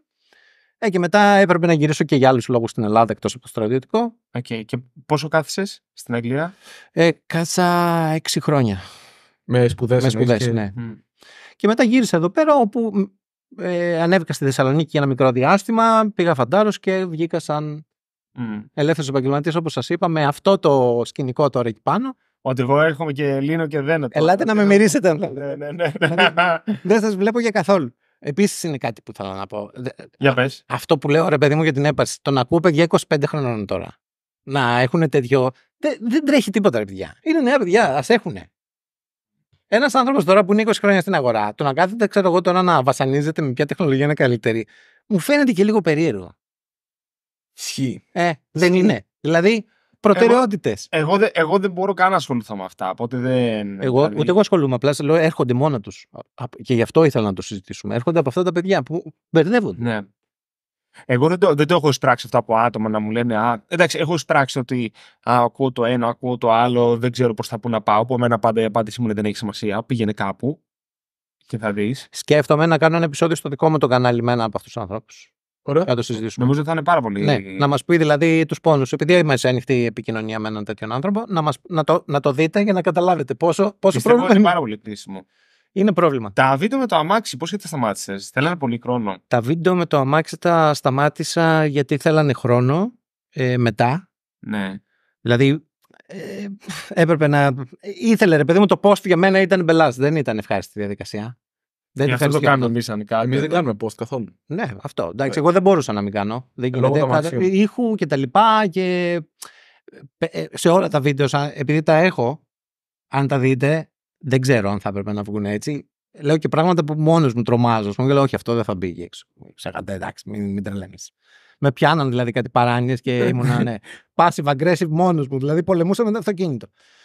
Ε, ναι, ρε, δηλαδή. τα- Να σου πω, Απελευθερώνεσαι με Εγώ, το αυτοκίνητο, ε. Εγώ το έχω, το έχω πιάσει αυτό σε κάποια βίντεο, γιατί το έχει δηλαδή. Φαινόταν ότι κάτι, κάτι είχες που εκείνη τη στιγμή σε, σε απασχολούσε και θεωρώ ότι ήταν από τα ωραία και είναι, αν ξανακάνεις τη βίντεο, από τα ωραία πράγματα του βίντεο. Δηλαδή, Θα το ξανακάνω. δηλαδή Αλλά τώρα το πολλοί άλλος που- κόσμος και εγώ έχουμε γελάσει με τέτοια σκηνικά. Το ξέρω. Ναι. Το ξέρω. Είναι- Αλλά πρέπει να καταλάβετε το context. Ότι αν μπορούσα, δεν θα σας πω, γιατί δεν- όχι δεν σας αφορά, δεν υπάρχει λόγος να σας χαλάσω την καρδιά. Το τι συνέβαινε στη ζωή μου εκείνα τα χρόνια, θα θεωρούσατε ότι ναι, ρε, μαλάκα. Δεν υπάρχει άλλος τρόπος. Αυτός μόνο έτσι μπορούσε να το εκτονώσει όλο αυτό που περνούσε. Ναι. Δηλαδή ήταν μια εκτόνωση όλο αυτό για μένα εκείνη την εποχή. Μμ. Από κάτι το οποίο ή θα με σκότωνε ή θα με τρέλαινε. Δηλαδή ή θα πάθαινα κάτι οργανικό ή θα με έστελνε στο δαφνί, ρε παιδί μου. Έπρεπε κάπου να αποσυμπιστεί. Έπρεπε κάπου να το βγάλω δημιουργικά όμως. Και είπα, βγάλτε όλη αυτή την ενέργεια κάπου, μήπως και κερδίσει κάποιος. Πρόσεχε, ε, δεν γινόταν να μην ξεφύγω κιόλας. Δεν υπήρχε περίπτωση δηλαδή γινόταν κάπου να αλλιώς. μην αρχίσω να το χάνω. Οπότε καθόμουν και το βλέπα, ψύχρεμα μετά, Ναι. και έλεγα, Όχι, όχι, εντάξει, ναι. Οπότε ναι. Τώρα ξέρετε, και καταλαβαίνετε Ναι. λίγο καλύτερα, ας πούμε, και γιατί γινόταν αυτό. ναι. Ε, εδώ στην Αθήνα δεν το συζητώ, το έκανα. Έχω φτιάξει βίντεο με αυτοκίνητο στην Αθήνα. Θα με κάποια. βρήσεις Ναι. τους άλλους. ε. Όχι, ε, κατέβαινα με πίεση. δηλαδή κατέβαινα και ήθελα να πέταξω την κάμερα, όχι να βγάλω το βίντεο. Έτσι, οπότε ναι, είναι αυτό. Εκεί στο χωριό είναι μια, ένας δρόμος μέχρι τη Λαμία που δεν σε απασχολεί κάτι. Αλλά τώρα, ρε παιδί μου, θα βγάλω μια πιο καλή σειρά για νέους πάλι, από το σπίτι, πιο οργανωμένη. Έχω κάνει δύο χρόνια που το κυνηγάω να το κάνω αυτό το πράγμα, αλλά ήρθε το, Το shop- Web Academy. το Web Academy. Έχω καθίσει, έχω γράψει τα κείμενα, έχω scripts, δηλαδή θα γίνει λίγο πιο οργανωμένο όλο αυτό. Οκ. Σοβαρή δουλειά. Σοβαρή δουλειά. Ε, πάλι για αυτό το κοινό. Το οποίο, όπως σας είπα, μου προέκυψε. Δηλαδή, ο νέος web worker, ρε παιδί μου, είναι ένα side quest δικό μου που Ναι. μου προέκυψε. Δεν το είχα. Αλλά αφού Το μπορώ. οποίο, είναι, το οποίο είναι τρομερό όνομα. Το κάνεις επίτηδες. Να πεις web worker που είναι και της JavaScript το πράγμα ή απλά. Α, όχι, δεν υπήρχαν ε, web workers όταν ε, συζητούσαμε για web workers.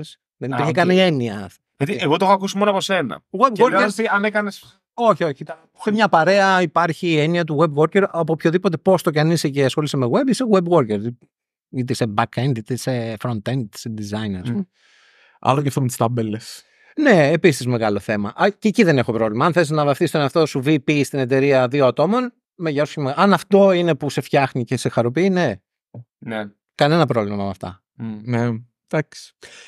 Καλά είναι όλα αυτά. Γενικά με τους τίτλους εγώ δεν ξέρω. Τα τελευταία χρόνια έχω πολύ beef. Δεν, ε, Εγώ δεν καταλαβαίνω και πολλούς παιδιά. Δεν τους ξέρω όλους τους τίτλους. Δηλαδή, βλέπω τίτλους σε είναι- ομάδες που λέω τι μπορεί να κάνει αυτός, δηλαδή, τι κάνει μέσα στην ημέρα του. είναι τόσο σχετικοί οι τίτλοι. Δηλαδή έχουν να κάνουν με το ποια εταιρεία είσαι. Είναι πάρα πολλά τα πράγματα. Δεν έχει. Εντάξει, ο τίτλος θεωρώ ότι για έναν άνθρωπο ο οποίος πονάει τη δουλειά και δουλεύει σε έναν οργανισμό και παράγει και αμείβεται και, και, και ίσως είναι κάτι που το θέλει ρε παιδί μου. Αν το θες πάρ' το. Δηλαδή, Οκ, αυτή, ναι. αυτή είναι η άποψή μου. Δεν, δεν, δεν θα πω ποτέ, κοίτα να δεις είναι δύο άτομα και άλλος γράφει ότι είναι CEO. Ε, άμα θέλει να είναι CEO, τώρα τι να κάνουμε; Μμ. Μα είναι CEO. Είναι, ακριβώς. Οπότε θέλω να πω, ξέρεις, που βλέπεις τι οργανισμός είναι αυτός τώρα. Και είναι αυτός και άλλος ένας. No, Fair. pro- no problems there, ας Ναι, πούμε. ναι, ναι. Έχουμε άλλα πιο πολύ πιο σοβαρά να ασχοληθούμε. Άπειρα. Οπότε ναι. Έχω πάρει την απορία. Το background σου είναι τεχνικό ή γραφιστικό. Είναι τεχνικό. Δηλαδή, ε, σαν front-end ε, ξεκίνησα. Front-end έκανα και το design ήταν κάτι που δεν έκανα καθόλου καλά. Α, αλλά πλασάρεσαι σαν designer πλέον. Ενώ αυτό είναι ο. Πλασάρομαι σαν designer γιατί ε, κάνω design πλέον. Πολλά Οκ. πράγματα. Δηλαδή, από το, CSS, από το 9 μέχρι και τώρα, ο ρόλος μου σε όλα αυτά τα projects ήταν να σχεδιάζω μακέτες. Οκ. Οπότε δεν μπορώ να πω ότι κάνω και front-end. Ναι. Α- Αυτό προέκυψε. Αν, αν βγάζει νόημα. Ναι. Βγάζει, δεν είναι. Ενώ. Ό,τι βλέπετε εκεί έξω, ρε παιδί μου, ό,τι κουμπάκι είναι σχεδιασμένο από μένα, ας πούμε, σε ένα πρόγραμμα Μμμ. πριν γίνει web. Οκ. Άρα δεν ξέρω αν μπορώ να πω ότι είμαι developer, ας πούμε, γιατί δεν είμαι developer. Γράφεις CSS. Γράφω σε πλέον σε επίπεδο, όπως σας είπα, καθαρά ε, Είσαι λοιπόν. prototype. Δηλαδή θα καθίσω. Ναι, όχι. Α, δεν θα γράψεις CSS εσύ, ούτε καν το CSS. Ούτε καν το CSS. Οκ. Ούτε JavaScript θα γράψω, αλλά ε, είμαι up to date με όλες τις τεχνολογίες σε επίπεδο front-end. Ε, μ, ξέρω τι γίνεται εκεί έξω, τι επικρατεί και διαλέγω διάφορα καλούδια, δηλαδή Tailwind, ας πούμε, είναι μια Μμμ. τεχνολογία που βρήκα να βγάλω γρήγορα πραγματάκια να τα δω στην οθόνη, χωρίς να κάθομαι να τυραννιέμαι. Υπάρχει κάποια τεχνολογία που βλέπεις και λες αυτή θα πάει καλά ή σου φαίνεται λίγο exciting για το μέλλον ή... Τεχνολογία, ε. Ναι. Μια γλώσσα, ας πούμε. Ε, ή κάτι. Από το front-end, επειδή λες είμαι up to date και παρακολουθώ. Ναι. Και... μ, Κοιτάξτε, ε, το μεγάλο μ, αστείο σε όλη αυτή την ιστορία είναι ότι όσο χρησιμοποιούμε browsers για να καταναλώνουμε περιεχόμενο, ε, θα σηκώνει μεγάλο κολοδάχτυλο HTML. Ναι. Ο browser καταλαβαίνει HTML, πάντα θα κάνει. Δώστε της ό,τι θέλετε εσείς από πίσω. Ο browser στο τέλος θα σας σερβίρει HTML. Ναι. Έτσι. Ένα DOM να κάνει τη δουλειά. ναι. End of story. Οπότε επιμένω και συνεχίζω να πιστεύω ότι αυτές οι βασικές τεχνολογίες θα είναι εκεί μέχρι ξέρω εγώ μια γενιά πει ότι δεν είναι πια ο browser, είναι κάτι άλλο. Είναι ένα headset, είναι δεν ξέρω τι. Δηλαδή η εμπειρία δεν είναι touch, scroll και point and click. Είναι κάτι άλλο το οποίο δεν ξέρω τι είναι. Για όσο είναι αυτό, είμαι excited που αυτές οι βασικές τεχνολογίες, δηλαδή είτε εγώ που γράφω με το χέρι HTML και CSS, μπορώ να βγάλω ένα website εκεί έξω με, με, ε, και εσύ που χρησιμοποιείς ξέρω εγώ ένα pipeline, δεν ξέρω και εγώ με τι τεχνολογίες, μπορείς να κάνεις το ίδιο πράγμα. Δηλαδή το ότι είμαστε στο ίδιο, έχουμε το ίδιο αποτέλεσμα, Μμ. είναι πολύ, πολύ σημαντικό για μένα αυτό το πράγμα. Μμ. Δηλαδή Λογικό. καινούριες τεχνολογίες να πω ότι μου αρέσει η React, η Vue, η... θεωρώ πολύ μεγάλο. Δεν ξέρω, κάπου πήγε, κάτι πήγε πολύ λάθος στο front-end με όλες αυτές τις Α, τεχνολογίες. ναι, full. Έτσι, δεν το έχω συζητήσει ούτε με τον εαυτό μου φιλοσοφικά, γιατί δεν ήμουν εκεί σε αυτή την αλλαγή. Καταλαβαίνω ότι τα προβλήματα που λύνει, αλλά το να βλέπω, ας πούμε, blogs γραμμένα σε React. Δεν ξέρω. Να, θεωρώ κακή Για- χρήση τεχνολογίας. είναι, θα σου πω, αυτό, αυτό το είχα πει ως ένα επιχείρημα όταν είχαμε κάνει το πρώτο επεισόδιο μέσα στην καραντίνα που ήμασταν οι τρεις μας και μου είχες την εξής απάντηση σε αυτό και λες δεν είναι τόσο κακό γιατί άλλος μπορεί να πειραματιστεί με αυτό. Ναι, μπορεί. Το οποίο which is okay σε αυτή την περίπτωση. Όταν μιλάμε για πειραματισμό, anything goes. Ναι. Όταν μιλάμε όμως για λύσεις πρακτικές, παιδιά, η Logic χρειάζεται ένα blog. Ναι. Και μου πείτε ότι το κάνατε σε WebAssembly, Ναι. θα πω γιατί. Ναι. Ε, το WordPress είναι 5 λεπτά για το blog. Αφού πακετάρουμε σε bytecode τα. τα- ναι, ναι, εντάξει. Αρχίζουν τα επιχειρήματα. Γι' αυτό λέω, αν πειραματίζετε και αυτό είναι η φάση που περνάτε και λίγο καλά, anything goes. Αν είναι ε, τώρα χρειαζόμαστε αύριο ένα blog γιατί θέλαμε να βγάλουμε ένα δελτίο τύπου, ε, Ναι. ε, δεν ξέρω. Το ένα Βάλα WordPress, βάλε και. Δεν θα πω Athens, θα πω ποιο είναι. Ό, όχι, Athens είναι Shopify κανένα στάση. Αυτό γι' αυτό. Θες να μας πεις και γι' αυτό, δηλαδή. Εκτός από το WordPress, είπε στην αρχή ότι έχεις ανοιχτεί και στο Shopify. Ναι. Πώς είναι αυτοί οι δύο κόσμοι, Είναι τελείως διαφορετική. για πες. Θα σας πω. Δηλαδή, συγγνώμη, θέλω εγώ να φτιάξω, Μμμ. να βάλω ένα e-shop. Ναι. Και έχω δύο επιλογές. Έχω το WooCommerce και έχω και το Shopify. Ναι. Εγώ τι να επιλέξω από τα δύο που είμαι χαμένος και απλά θέλω ένα e-shop και δεν ξέρω τίποτα; Ε, στο κόσμο του WooCommerce έχεις δύο επιλογές. Ε, να πάρεις το WooCommerce, να το εγκαταστήσεις σε ένα δικό σου σερβερ και να το σετάρεις μόνος σου ή να πας σε μια υπηρεσία σαν το WooCommerce, σαν το wordpress.com, να διαλέξεις ένα από τα, πλάνο, από τα πλάνα, στα πιο ακριβά σου λέει ότι μπορείς να τρέξεις και WooCommerce Okay. και να, ξε- να εκμεταλλευτείς το infrastructure της Automatic που σηκώνει έτσι billions of requests κάθε μέρα. Ναι. Ε, αυτή τη στιγμή, όπως το 2024, θα σου πρότεινα να πας σε μια hosted υπηρεσία, όπως είναι το wordpress.com, να γραφτείς, να πληρώσεις τα ευρώ που σου ζητάει, να διαλέξεις ένα theme και να τρέξεις το e-shop σου. Αυτή είναι Μμ. μία περίπτωση. Δηλαδή, αν έχεις ας πούμε ένα μαγαζί που έχει, ξέρω εγώ, ξέρω εγώ χίλιους κωδικούς, Ναι. πήγαινες σε αυτό το μονοπάτι. Αν απευθύνεσαι σε μία αγορά μόνο Μμ. αν δεν έχεις μεγάλες απαιτήσεις ε, ως προς το, μ, τι να πω, ε, να μην χρειάζεσαι γέφυρες με ERP, δεν χρειάζεσαι, ξέρω εγώ, τέτοιους μπελάδες, πήγαινε εκεί. Ναι. Αν χρειάζεσαι όλα αυτά τα πραγματάκια, μάλλον θα πας σε self-hosted λύση. Μμμ. Που και μπορεί, μα- να είναι, μπορεί να είναι στο εσωτερικό σου δίκτυο, ίσως για να μιλάει με τα ERP. Ναι, και θα χρειαστεί σίγουρα και έναν επαγγελματία. Κάποιον Ναι. που εξαιρετικά είναι να σε καθοδηγήσει τουλάχιστον. Okay. Δηλαδή, πριν ξεκινήσεις από όλα αυτά, αν δεν έχεις χρήματα, πήγαινε ρε παιδί μου σε ένα γραφείο, ζήτα πόσο είναι το hourly rate, μία ώρα, να σου πει, ξέρεις τι θα χρειαστείς, αυτό, αυτό, αυτό και αυτό, πάρτο. Ναι. Μην, μην το ξεκινήσεις διαφορετικά. Το Shopify είναι ένας άλλος πλανήτης, από την άποψη ότι από ό,τι κατάλαβα, γιατί τώρα είμαι πόσο εκεί, σου λέω 16-18 μήνες που έχουμε τα themes εκεί, είμαστε partners, όπου ξεκίνησε από ό,τι κατάλαβα με το dropshipping, Μμμ. το οποίο δεν ήξερα καν εγώ τι είναι το dropshipping. Dropshipping είναι η έννοια του δεν έχω καν αποθήκη, δεν έχω καν stock, έχω ένα e-shop, βάζω παραγγελία ένα μπλουζάκι και το εκτελεί κατευθείαν το εργοστάσιο που το φτιάχνει. Μμμ. Και το Shopify, από ό,τι κατάλαβα, έχει πολύ καλά integrations με όλα αυτά τα εργοστάσια Μμμ. και πολλοί από αυτά τα βίντεος που λέει βγάλε χίλια δολάρια τη μέρα ε, γρήγορα φτιάχναν τέτοια websites, dropshipping. Μμ. Στην καραντίνα νομίζω έπαιξε πάρα, πάρα πολύ αυτό. Πρέπει να έχει πάρα πολλά χρόνια στο Shopify που σημαίνει αυτό. Σίγουρα, αλλά νομίζω εκεί πέρα έχει κανένα Εκεί πρέπει να τρελό- έχει Εκτός χαμπάρι. έρθηκε. Ναι. Δηλαδή θεωρώ τώρα που τα βλέπω απ' έξω ότι δούλεψε πολύ με τέτοιο κοινό. Ε, Παρ' όλα αυτά έχει επενδύσει στην πλατφόρμα πάρα πολύ, στην εμπειρία, στο πώς μπορεί να κάνει on board έναν merchant ο οποίος θέλει ρε παιδί μου να βγάλει τώρα 10 κωδικούς να, πωλ- να πουλήσει. Είναι πολύ εύκολο αυτό.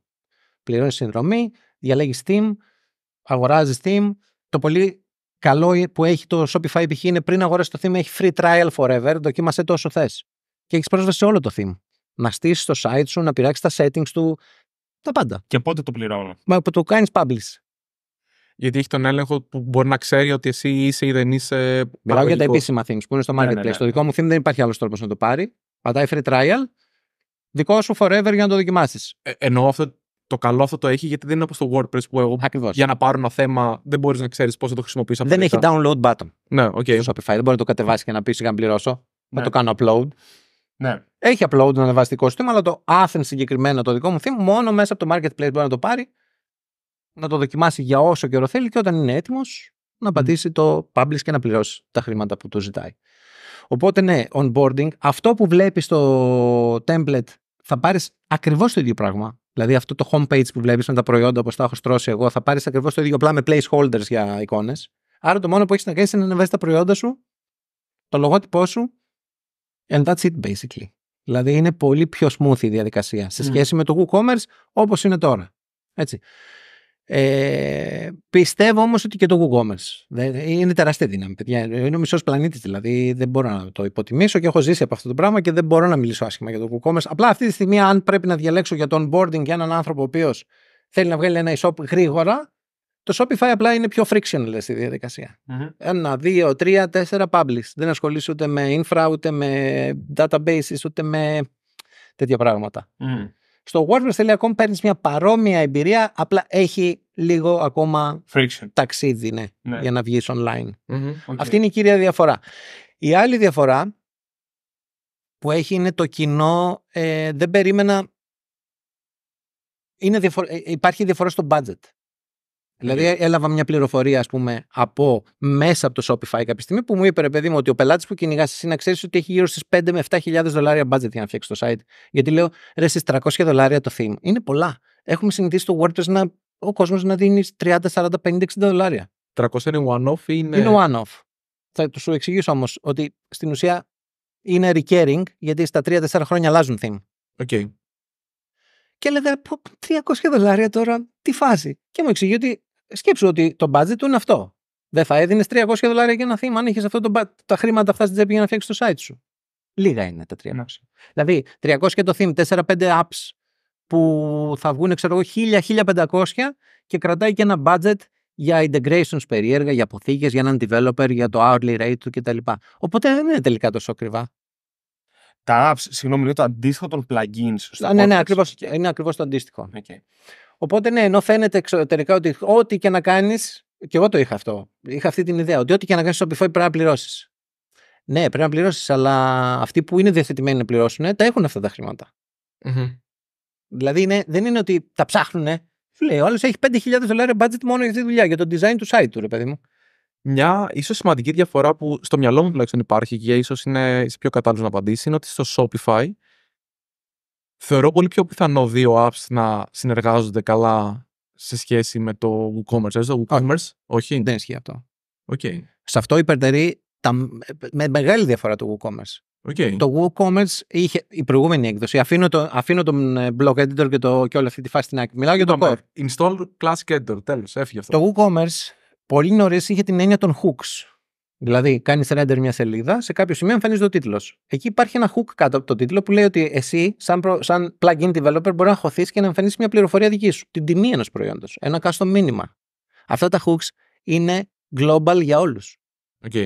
Δηλαδή, συμφωνήσαμε όλοι οι theme και plugin developers ότι έχουμε αυτά τα hooks διαθέσιμα. Στο Shopify δεν υπάρχει τέτοια έννοια. Δηλαδή, κάτω από τον τίτλο, εκεί που κάνεις render το price, δεν μπορεί να χωθεί ένα, pla- ένα app και να κάνει render, να κάνει inject ένα δικό του κάτι. Τώρα ξεκίνησε να το φτιάχνουν αυτό. Έχουν φτιάξει τα λεγόμενα app blocks, όπου στην ουσία μέσα στον editor, ρε παιδί μου, του Shopify, κάνεις install το app και σου δίνει ένα διαθέσιμο block να πάει να βάλεις αυτή την πληροφορία εσύ visually. Ή αν πρόκειται για custom Shopify theme, να το κάνεις προγραμματιστικά. Αλλά σε αυτό το WooCommerce είναι πάρα πολύ μακριά. Πολύ, Οκ. Σε πολύ καλύτερο σημείο. Οκ. Το... Δηλαδή, σου λέω, συμφωνούμε όλοι ότι αυτό το theme που χρησιμοποιεί ο Αντώνης, ο Πάρης και ο Γεράσιμος έχει χρησιμοποιήσει αυτά τα hooks. Μμμ. Δηλαδή, κάνω render και σε κάποια σημεία έχει hooks. Άπειρα hooks. Δηλαδή, άμα δείτε πόσα hooks έχει το WooCommerce Ναι. για τα πάντα. Τελείωσε η παραγγελία. Εκτελέστηκε η παραγγελία. Ακυρώθηκε η παραγγελία. Ε, παντού. Σου δίνει όλο το context να μπορείς εσύ ανάλογα να χωθείς ναι, σε να διάφορα χωθείς. σημεία και να κάνεις τη δουλειά σου. Ε, το Shopify είδα κάποια στιγμή ότι αγόρασε κάποιο front-end framework, το Remix. Ή Το κάτι Remix, ναι. Αυτό τι είναι και πώς κολλάει με το, με το Shopify; Είναι, α, ε, γράφω, αυτό είναι React αν θυμάμαι. Ναι, είναι ένα React framework. Είναι άλλη μια Γράφω, λύση. Rea- γράφω React εγώ για το Shopify, μπορώ. Μπορείς, φυσικά. Έχουν φτιάξει και ένα. Ε, πώς το λένε. Το Polaris, το οποίο είναι ένα ε, UI και library, που σου λέει, ρε παιδί μου, ότι αν θες να έχεις την ίδια. Αν το app σου έχει settings page μέσα στο Shopify για να μην έχει διαφορετικά χρώματα και διαφορετική δομή για να είσαι όσο πιο κοντά στην εμπειρία του Shopify, χρησιμοποίησε αυτά τα components. Έχουν αυτά τα styles, αυτά τα attributes, bla bla bla. χρησιμο- Και στην ουσία το app σου φορτώνει μέσα στο Shopify και έχει την ίδια μορφή με το υπόλοιπο περιβάλλον του Shopify. Okay. Ε, δεν είναι απαραίτητο να χρησιμοποιήσεις Remix. Απλά ε, το Shopify είπε ότι εγώ θέλω μια τεχνολογία να έχω σαν σημείο αναφοράς για τους developers να τους πω ότι πάμε έτσι. Θες να χρησιμοποιήσεις PHP, χρησιμοποιήσει PHP για το backend της εφαρμογής σου στο Shopify. Θες να χρησιμοποιήσεις Ruby on Rails, Α, χρησιμοποιήσει. είναι για back-end εφαρμογών το, το Ναι. Remix. ναι, Δεν ξέρω τι είναι. Δεν, είναι ένα framework, ας πούμε, ναι, για να κάνεις authentication, για να φέρεις δεδομένα από ένα server, για να διαχειριστείς πελάτες, για να διαχειριστείς billing, για να. Για να, να, θέλω για να να... σου δείξει ένα παράδειγμα πώς να φτιάξω Shopify Ακριβώς. app, το κάνει με Remix. Ακριβώς. Okay. Απλά σου λέει ότι αυτό δεν είναι απαραίτητο. Δηλαδή, τα, από τα 10.000 apps, τα μισά είναι γραμμένα σε PHP εκεί μέσα, Ναι. Σαν backend.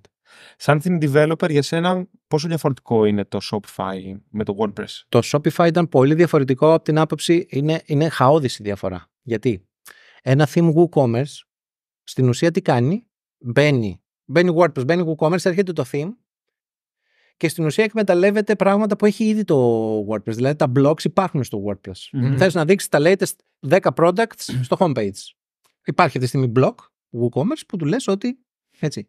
Αυτό έχει τη δική του markup, έχει κάποια styles που μάλλον πρέπει να κάνεις ε, override. Έχει μια λογική ήδη από το core. Μμμ. Στο Shopify έρχεται και σου λέει δεν, έχ- δεν θα σου δώσω τίποτα. Τίποτα. Blank slate. OK. Τίποτα. Θα, σου- θα χρησιμοποιήσει HTML, CSS και JavaScript χωρίς frameworks, χωρίς τίποτα και liquid.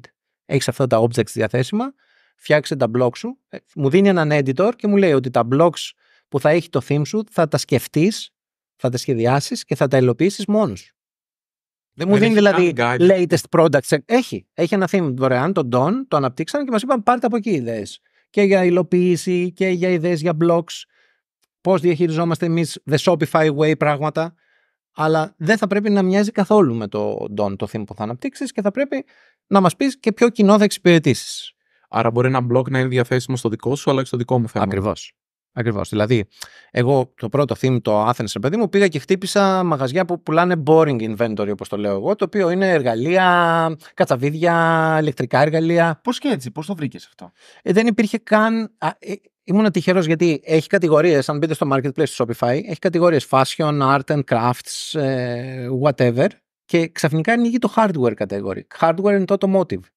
Και έχει δύο themes εκεί μέσα τα οποία είναι άσχετα. Δηλαδή έχουν πάει τύποι και απλά έχουν βάλει το checkbox να εμφανιστούν εκεί μέσα. Δεν είναι για hardware. Και λέω θα μπω στην κατηγορία τη καινούρια. Το οποίο Μμμ. όπως αποδείχθηκε ήταν πολύ Μμ. σοφή λύση ρε παιδί μου γιατί εντάξει. Δηλαδή κέρδισα όλο αυτό το κοινό ήρθε πάνω μου. Πολύ γρήγορα. Δηλαδή Οκ. μπήκε το theme Δευτέρα και Τετάρτη άρχισε να έχει πωλήσεις. Όχι πώληση, πωλήσεις. Το οποίο ήταν πάρα πολύ ευχάριστο αυτό. Και ήταν μαγαζιά που πουλάγανε μ, ε, εργαλεία, ήταν μαγαζιά που πουλάνε. δε- αλλά το πιο περίεργο e-shop που έχω δει με το Athens είναι ένας τύπος που φτιάχνει δεξαμενές νερού, οι οποίες ρε παιδί μου κρατάνε κρύο νερό στην έρημο στους 150 βαθμούς. Δηλαδή από εκεί θα ανοίξει και θα πεις κρύο νερό, ξέρω εγώ. Για, Έλα, ρε, φίλε. για εργοτάξια που γίνονται σε περιοχές με μεγάλες θερμοκρασίες. Αυτό, αυτός θα, έχει- αυτό θα πας για cold plants που ήθελες. Ναι, ναι. Ο τύπος έχει βιομηχανία τέτοιων δεξαμενών. και έχει κάνει Shopify. Πήγε στο Shopify, αγόρασε. ε, Έχει ρε παιδί μου 10 μοντέλα ο άνθρωπος, δεν έχει άλλα. Ε, Είδε το Athens, σου λέει αυτό, λογότυπο, το χρώμα μου, τα προϊόντα μου, publish. Και η παραμετροποίηση του θέματος είναι κάτι που επιλέγει ο προγραμματιστής; Ναι. Και υπάρχουν πολύ συγκεκριμένα requirements εκεί ως προς τα options που δίνεις στον πελάτη. Δηλαδή στο WordPress είχαμε συνηθίσει να μιλάμε με έννοιες όπως pixels, ε, ε, πώς το λένε, να δίνουμε values, να μιλάμε με CSS units, να λέμε ρε παιδί μου μέσα στο theme ότι με αυτό το setting θα πειράξεις το height σε pixels. Στο Shopify σου λέει μην τους μπερδεύεις με τέτοια πράγματα. Δηλαδή αν θες να δώσεις ένα setting για ένα heading να γίνεται μικρότερο ή μεγαλύτερο, πες το small, medium, large. Μην τους μπερδεύεις δηλαδή. Επέλεξες εσύ ποιο είναι το μέγεθος. Επέλεξες εσύ. Το παίρνεις σωστό γιατί, αν σκεφτείς τουλάχιστον τυπογραφικά, πρέπει να έχεις μια κλίμακα που παίζεις μετά. Ακριβώς. Αλλά αυτό δεν το ξέρει ο. Δεν το ξέρει και δεν τον ενδιαφέρει. Ακριβώς. Θέλει μόνο να ξέρει άμα είναι μεγάλο, μικρό και. Ακριβώς. Ναι. Αυτόν που θέλει τέτοιον έλεγχο έχει page builders μέσα apps του Shopify που παίρνει και θέλω να πω που είναι λίγο πιο υποψιασμένος με όλα αυτά. Ξέρει τι είναι το padding, τι είναι το margin. Ναι. Χρησιμοποιεί page builder. Αυτός που λέει τώρα αν είναι 68 pixels ή αν είναι 64 δεν ξέρω τι μου λες. Δεν καταλαβαίνω καν τι μου λες. Και το, το επόμενο κομμάτι νομίζω που υπάρχει πολύ συχνά ερώτηση στο, στο Shopify ή τουλάχιστον που σε μένα έχει δημιουργηθεί σαν πρόβλημα. Σου έλεγε κάποιος, ξέρεις τι, OK, θέλω το e-shop μου, που είναι το βασικό κομμάτι ενός website, αλλά θα χρειαστώ και ένα blog, θα χρειαστώ και δύο-τρεις ε, landing pages. Όλα αυτά τα πράγματα το, το WordPress στα έδινε το core του και μετά το, Word, το commerce μάλλον έρχονταν και σου έδινε το, το e-shop. Ναι. Άρα λοιπόν τα συνδυάζει πολύ καλά. Στο Shopify υπήρχε μια Ανασφάλεια, να το πω στην αρχή. Μια έτσι. Υπήρχε καταρχάς μια ανεπάρκεια. Έλλειψη. Μπράβο. Okay. Άρα, λοιπόν, Αυτή αυτό... η ανεπάρκεια αρχίζει και καλύπτεται. Υπάρχει blogging engine μέσα στο Shopify πλέον. Το οποίο εγώ προσωπικά. Το Shopify. Μέσα στο ίδιο dashboard δηλαδή ο πελάτης έχει κουμπί blog. Okay. Και σε αντίθεση με το WordPress μπορείς να υπάρχει έννοια των πολλών blogs. Δηλαδή έχω ένα blog ένα blog μόνο για νέα. Έχω ένα blog μόνο για εσωτερική χρήση. Yeah. Έχω, δηλαδή δεν είναι κατηγορίες okay. των άρθρων. Είναι μια οντότητα ολόκληρη. Έχω ένα blog το οποίο δεν εμφανίζω ποτέ, ρε παιδί μου, στο, στο, στο κοινό και έχω, ξέρω εγώ, εσωτερική επικοινωνία. Okay. Το οποίο ήταν πολύ καλό το concept. Στο τρίτο theme που βγάλαμε τώρα το πίεσα πάρα πολύ για να δω μέχρι που φτάνει και εντάξει για blogging φτάνει και περισσεύει. Έχει comments, έχει tags, έχει τα πάντα. Δηλαδή για ένα blog το οποίο θες απλά να βγάλεις άρθρα ε, εσύ σαν θέμα προσφέρεις και σελίδες blogs. Ναι. Πρέπει να το κάνεις. Δηλαδή, είναι requirement. Okay. Υπάρχει ένα requirement. Είναι μια λίστα ατελείωτη με check boxes δίπλα, το οποίο πρέπει να κάνεις check όλα πριν καταθέσεις το theme για review.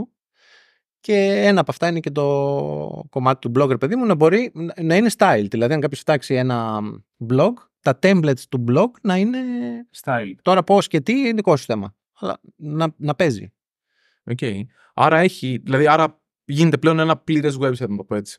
Και επειδή ακριβώς δεν υπάρχει έννοια του blog στο core, δηλαδή το φτιάχνουμε εμείς, εγώ έχω φροντίσει και έχω βάλει στα themes μου και κάποια extra sections, έτσι λέγονται στο Shopify, τα οποία δεν είναι καθαρά e-commerce. Είναι για να φτιάξει και landing pages. δηλαδη mm-hmm. να προωθήσει ένα προϊόν, ρε παιδί μου, μόνο του. Ναι. Δηλαδή, έχω ένα section το οποίο μπορείς να βάλεις ε, βίντεο και να βάλεις και ένα τίτλο από πάνω. Ή άλλο ένα section να δείξεις το προϊόν έτσι ή αλλιώς. Αυτά είναι τα blogs του Gutenberg. Αυτά είναι τα αντίστοιχα των blogs του Gutenberg. αυτό, αυτό θα ρωτήσω ναι, και εγώ. Ναι, ναι, ακριβώς. Τα οποία στο επίπεδο WordPress έρχονται έτοιμα. Δηλαδή έχουν και markup, έχουν και CSS. Και εσύ καλείσαι να το κάνεις style αυτό το πράγμα ή να το κάνεις extend. Στο Shopify δεν υπάρχει αυτή η έννοια. Το φτιάχνεις εσύ. Το input όμως το ορίζεις εσύ ή το input; Τι εννοείς input; Ενώ τι θα πει το input ενός blog; Θέλω να βάλω ένα blog το οποίο το λέω title ή το λέω video. Ναι. Αυτό θέλει ένα URL για παράδειγμα για το YouTube. Λέω ναι. Εσύ όταν ορίζεις το blog Ακριβώς. και το section, πας και λες ότι αυτό το section για να δουλέψεις θέλει αυτά τα πράγματα. Ακριβώς. Okay. Δηλαδή, έχουμε ένα section το οποίο το λέω ρε παιδί μου featured collections. Και ε, στο WooCommerce τα product categories λέγονται categories, στο Shopify λέγονται collections για να μην μπερδευόμαστε. Θέλω εγώ στο homepage να δείξω τα πέντε πιο δημοφιλή collections μου mm-hmm. από το μαγαζί μου. Έτσι. Θέλω να δείξω αυτή την κατηγορία, αυτή την κατηγορία, αυτή την κατηγορία, αλλά την κατηγορία, όχι κάποιο προϊόν από αυτή την κατηγορία. Πώς επιλέγει κάποιος, ρίχνει το section στον ε, customizer, έτσι λέγεται επίσης στο Shopify. Τα settings του εγώ τα ορίζω. Δηλαδή του λέω, okay. πάτε εδώ για να ορίσει το πρώτο collection, το δεύτερο mm. collection, το τρίτο collection, το τέταρτο collection. Θες τον τίτλο από πάνω ή στα αριστερά; Mm-hmm. Μήπως θες και λίγο padding πάνω κάτω. Αλλά αυτά του τα λέω με μια γλώσσα που καταλαβαίνει. Δηλαδή εκεί το λέμε spacing, ας πούμε. Mm. OK, okay, και εσύ αυτά μετά τα παίρνεις μέσα στο liquid στα δεδομένα και ναι, ναι. ξέρεις πώς να ρεντάρεις το HTML μετά τη. Ακριβώς. Ε, ε, ε, εκεί και στο theming και σε τεχνικό επίπεδο δουλειά το έχουν πάρα πολύ. Το έχουν τερματίσει. Ε. Όχι τερματίσει, είναι πολύ πιο ευχάριστη. Το DX είναι πολύ πιο ευχάριστο. Δηλαδή σε ένα αρχείο έχεις ε, markup, τι εμφανίζει δηλαδή στο frontend, CSS, JavaScript. Αν θες, κάνεις και custom elements για να μην τα κάνεις ξανά και ξανά. Α πούμε, Mastercard είναι ένα custom element, ρε παιδί μου, και το Έλα, κουβαλάμε ρε, σε όλα εσύ. με αυτά. Ναι. Web component. Ακριβώς. Φτιάξαμε ένα card, ξέρουμε ότι δουλεύει, το τεστάρουμε και ξέρουμε ότι αυτό θα το κουβαλάμε σε όλα μας τα themes γιατί δεν υπάρχει λόγος να φτιάξουμε διαφορετικό card από την άποψη της λειτουργικότητας. Styling αλλάζει. Ναι, οκ. Αλλά σαν component είναι αυτό και χρειάζεται ένα, δύο, πέντε, δέκα πράγματα. Μαγικό. Και μετά έχει ένα σχήμα το λέει, το οποίο είναι στην ουσία ένα, μια δομή που ορίζω τα settings μου. Okay. Θέλω ένα setting drop down με αυτά τα values. Θέλω ένα setting input, θέλω ένα setting range control, θέλω ένα setting color picker, θέλω ένα setting αυτό. Και μετά μπορείς και συσχετίζεις αυτό το σχήμα με τη markup σου. Που λες ότι αν πειράξει αυτό, θα πειράξω αυτό. Okay. Τόσο απλό. Ωραίο. Το οποίο είναι πολύ ωραίο γιατί ξέρεις, δεν κάθεσαι να ασχολείσαι με το πώς. Ασχολείσαι με το merchant. Mm. Συνεχίζεις και ασχολείσαι με το merchant. Γι' αυτό λέω ότι είναι σημαντικό ο Toby και ο κάθε Toby να ασχολείται με αυτό. Είμαι σίγουρος ότι έχει το νου του σε αυτή την εμπειρία. Γιατί μου κάνει τη ζωή εύκολη Α. ένας developer. Ε, Είναι αυτό το οποίο λέγαμε και πριν. Οι stakeholders είναι δύο. Ναι. Είναι αυτός ο οποίος έχει το e-shop που έχει τις δεξαμενές για την έρημο Ακριβώς. και είναι και ο Γεράσιμος ο οποίος φτιάχνει το theme. Δηλαδή για να πετύχει το Shopify χρειάζεται να πετύχουν και οι δύο και το μεταξύ τους. Είναι, είναι τρίγωνο όλο αυτό. Αλλά- Οπότε, αν αυτός είναι developer, ο Toby, εκεί που μ, καταλαβαίνει σίγουρα είναι αυτό το κομμάτι. Ακριβώς. Και για να επανέλθουμε στην αρχή της συζήτησης, πόσο σημαντικό είναι εγώ απλά πλέον να μείνω πίσω για να μιλάω με το merchant μου, αλλά να μπορώ να καταλάβω όταν θα ανοίξω ένα αρχείο Liquid τι συμβαίνει εδώ και να πω, ξέρετε τι παιδιά, θα τα ομοδο...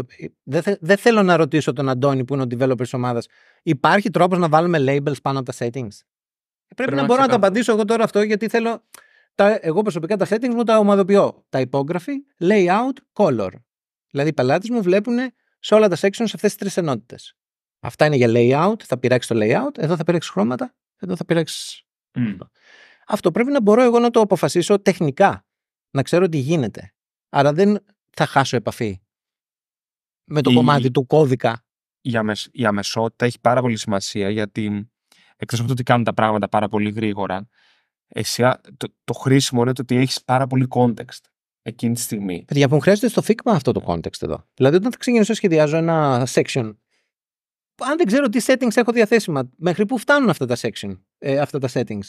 Δηλαδή το API γενικά, αν δεν το καταλαβαίνω εγώ, πώς θα σχεδιάσω; Και πώς θα καταλάβει ο πελάτης σου, αν καταλαβαίνει εσύ; Να- Δηλαδή να έχω τον άλλο. Ε, γίνεται αυτό, ναι, ωραία. Γίνεται αυτό, ναι. Είναι μια λύση ίσως. Εγώ δεν μπορώ να την υιοθετήσω αυτή τη λύση. Θέλω να ξέρω ακριβώς τι συμβαίνει, πού χτυπάει η καρδιά του.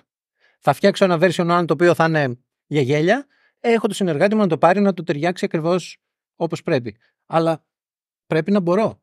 Δηλαδή να φύγω από το Figma όσο πιο γρήγορα γίνεται. Δεν ζούμε από το Figma, ζούμε από το theme. Θέλω να φύγει αυτό το section, να μπει στο theme, να πατήσω εγώ το κουμπάκι, να πάω στα Windows, να δω την τυπογραφία. Ναι, ναι, ναι, ναι, αυτό που λέω. Καταλαβες. Θέλω να κάνω άλλη μια ερώτηση. Είπαμε πριν για τα νέα παιδιά, τους developers, κάποιος ο οποίο θέλει να πάει να γίνει designer. Ναι.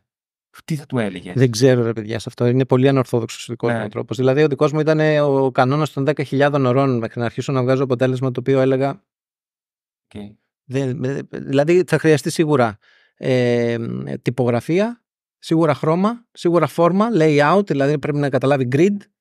Α ξεκινήσει από τα βασικά, από τέτοιες έννοιες. Οι οποίες εκεί. Ε, ε, Πώς να το πω. Ξεκίνα να αντιγράφεις websites που σου αρέσουν. Πολύ σημαντικό. Clean room. Είναι αυτό. Όχι, αυτό είναι να πάρεις το, το clean room, είναι να πάρεις το website και να φτιάξεις εσύ το CSS. Είναι μια άσκηση. Α, δεν ξέρω. Ναι. Εγώ το έκανα αυτό. Δηλαδή, websites που μου αρέσανε, Τα Να τέλα. τα φέρεις στο Figma. Ναι, στο... Ναι, και έβλεπα, ας πούμε, πόσο. δι- Ξέρεις, έπαιρνα μια εικόνα, δεν κοιτούσα συνέχεια, ρε παιδί μου. Έτσι, μια αποτύπωση έκανα. Να δω πόσο κοντά θα βγω. Και δεν έβγαινα. Ήταν πολύ πιο άσχημα τα δικά μου τα, Α, οκ. τα πράγματα. Ναι. Και εντάξει, είναι μετά τι designer θες να γίνεις. Δηλαδή, θες, να- μήπως, αν θες να ασχοληθείς για product, ας πούμε, τώρα να βγεις να σχεδιάσεις web apps, είναι άλλος κόσμος. Αν θες να σχεδιάσεις για e-commerce, είναι τελείως άλλος κόσμος. Αν θες να σχεδιάσεις brochure websites, είναι άλλο skill set. Έχουν κοινό τόπο αυτά. Τυπογραφία, χρώμα, layout Μμ. τα υπόλοιπα, οι ανάγκες είναι πολύ διαφορετικές. Άρα και εκεί πάρε μια μυρωδιά, πήγαινε σε ομάδες, ας πούμε. Ναι. Αυτό που λέω εγώ στα, στα παιδιά είναι ότι ρε, εσύ ξέρεις τι, έχω αυτούς εκεί πέρα, δύο φίλους που κάνουν αυτό, δεν θα τους ενοχλήσει να πας. Πήγαινε. Πήγαινε δύο μέρες. Και κάποιοι θα σου πούνε και δύο ώρες δύο πράγματα. Πολύ σημαντικό. Παίρνει μια μυρωδιά από, ε, πώς το λένε, από web apps. Πρέπει να, να κουνηθείς λίγο νομίζω. Δεν Πρέπει να έχει περίπτωση. κουνηθείς. Αλλά ναι, το design γενικά είναι, είναι περίεργο σπορ. Είναι περίεργο σπορ και εδώ να δείτε από έπαρση, παιδιά, τι γίνεται. Εδώ να δεις. Εκεί πέρα έχει άποψη ο καθένας. Design. Έχει άποψη από Ναι. εσένα μέχρι εμένα. Ενώ ρε παιδί μου από κάποιον ο οποίος Ναι. ξέρει και από κάποιον ο οποίος νομίζει ότι ξέρει. Εντάξει. Απλά και εδώ πιστεύω ότι δεν ξέρω αν χρειάζεται τόσο πολύ να πάρει ευχή. Το Δηλαδή, design. όχι, χρειά, όχι, α, αυτή η έπαρση στο design. Το οποίο είναι μια ολόκληρη άλλη συζήτηση. δηλαδή, Να μην είσαι τόσο καλλιτέχνης, δηλαδή. ας πούμε, Να μην είσαι τόσο. Όχι, υπάρχουν άνθρωποι που θεωρούν, ρε παιδί μου, ότι. Πώς να το πω τώρα έτσι. Χάρηκα να απασχολούμε μαζί σου αυτή τη στιγμή. Όχι, θεωρούν ότι, ότι επειδή δουλεύουν σε πολύ μεγάλα accounts, σε πολύ μεγάλα projects, ότι μπορεί να έχουν και ένα μεγαλύτερο skill set από ανθρώπους που δουλεύουν σε μικρότερα projects. Κατάλαβα. Και τους βγαίνει άβαλ- άτσαλα αυτό το πράγμα. Μμμ, οκ. Και εμένα δεν μ' αρέσει αυτό. Ναι. Έχω φίλους που δουλεύουν σε πολύ μεγάλα projects και δεν τους ξέρει κανείς, ας πούμε. Και είναι χαρούμενοι με τις οικογένειές τους και ζουν τη ζωή τους και μια χαρά. Δεν χρειάζεται φασαρία. Ναι. Η φασαρία γενικά δεν χρειάζεται. Μπορεί Δηλαδή, πα- χρειάζεται, παντού αλλά το σε ίδιο. τέτοιο επίπεδο, ρε παιδιά. Δηλαδή να κάνουμε Στο χαβαλέ. χαβαλέ, ναι, ναι. στο χαβαλέ. Μην το σοβαρεύουμε αυτό το πράγμα. Ναι. Γενικά θεωρώ ότι όλη αυτή η δουλειά και να εξαφανιστεί από τον πλανήτη θα ζήσουμε, θα επιβιώσουμε σαν είδος. Οπότε. Αλήθεια, εγώ δεν το πιστεύω. Εγώ το πιστεύω. Αν φύγει δηλαδή όλη αυτή η σαβούρα και πάμε στο, στην HTML1 και στο CSS 1,1. Α, στο κομμάτι του web και αυτό, γιατί εγώ σκέφτομαι πόσο έχει αλλάξει ο Α, το κόσμος. ίντερνετ. Με το ίντερνετ και το software και όλα αυτά. Δηλαδή, Εντάξει, δεν- μωρέ. Έχει υπάρχει- ξεκινήσει, μωρέ. Υπάρχει δεν ένα υπάρχει εκφυλισμό χειρισμός. όμως. Υπάρχει Ε, ένας Καλά, εκφυλισμό. φιλισμό εννοείται ότι, εννοείται ότι υπάρχει. Κάνουμε σημαντικά πράγματα που δεν είναι. Δηλαδή, επικοινωνήσαμε, καταφέραμε, επικοινωνήσαμε, φτιάξαμε το web, ας πούμε, να μπορούμε να ανταλλάσσουμε πληροφορίες. Από εκεί και πάνω μετά έχει ξεκινήσει ένα ταξίδι το οποίο δεν ξέρω. Εντάξει, αρχίζουμε τις μαλακίες από ένα σημείο. και Ε, μετά. αυτό ακριβώς. Δηλαδή, να τις ξεκινήσουμε, να τις κάνουμε. Αλλά λίγο προσοχή και στο ύφος, πόσο σοβαροί είμαστε γι' αυτό. Υπάρχουν projects τα οποία και να χαθούν από τον πλανήτη. Αν φύγει ρε παιδί μου το Athens από το marketplace του Shopify, θα συνεχίσει να υπάρχει το web. Αυτό εννοώ. Ναι, ναι, Κατάλαβες. κατάλαβα, κατάλαβα τι λέτε. Και είναι, και είναι ok. Είναι OK. Ναι. Δηλαδή, μην τρελαίνεσαι. Εγώ έπαθα πλάκα, το συζητούσαμε πέρυσι σε ένα επεισόδιο όταν είχε έρθει ο Λίσανδρος εδώ. Ο Λύσανδρος είναι ένας φίλος από το Βερολίνο που είναι core developer της Python, της γλώσσας Οκ. προγραμματισμού.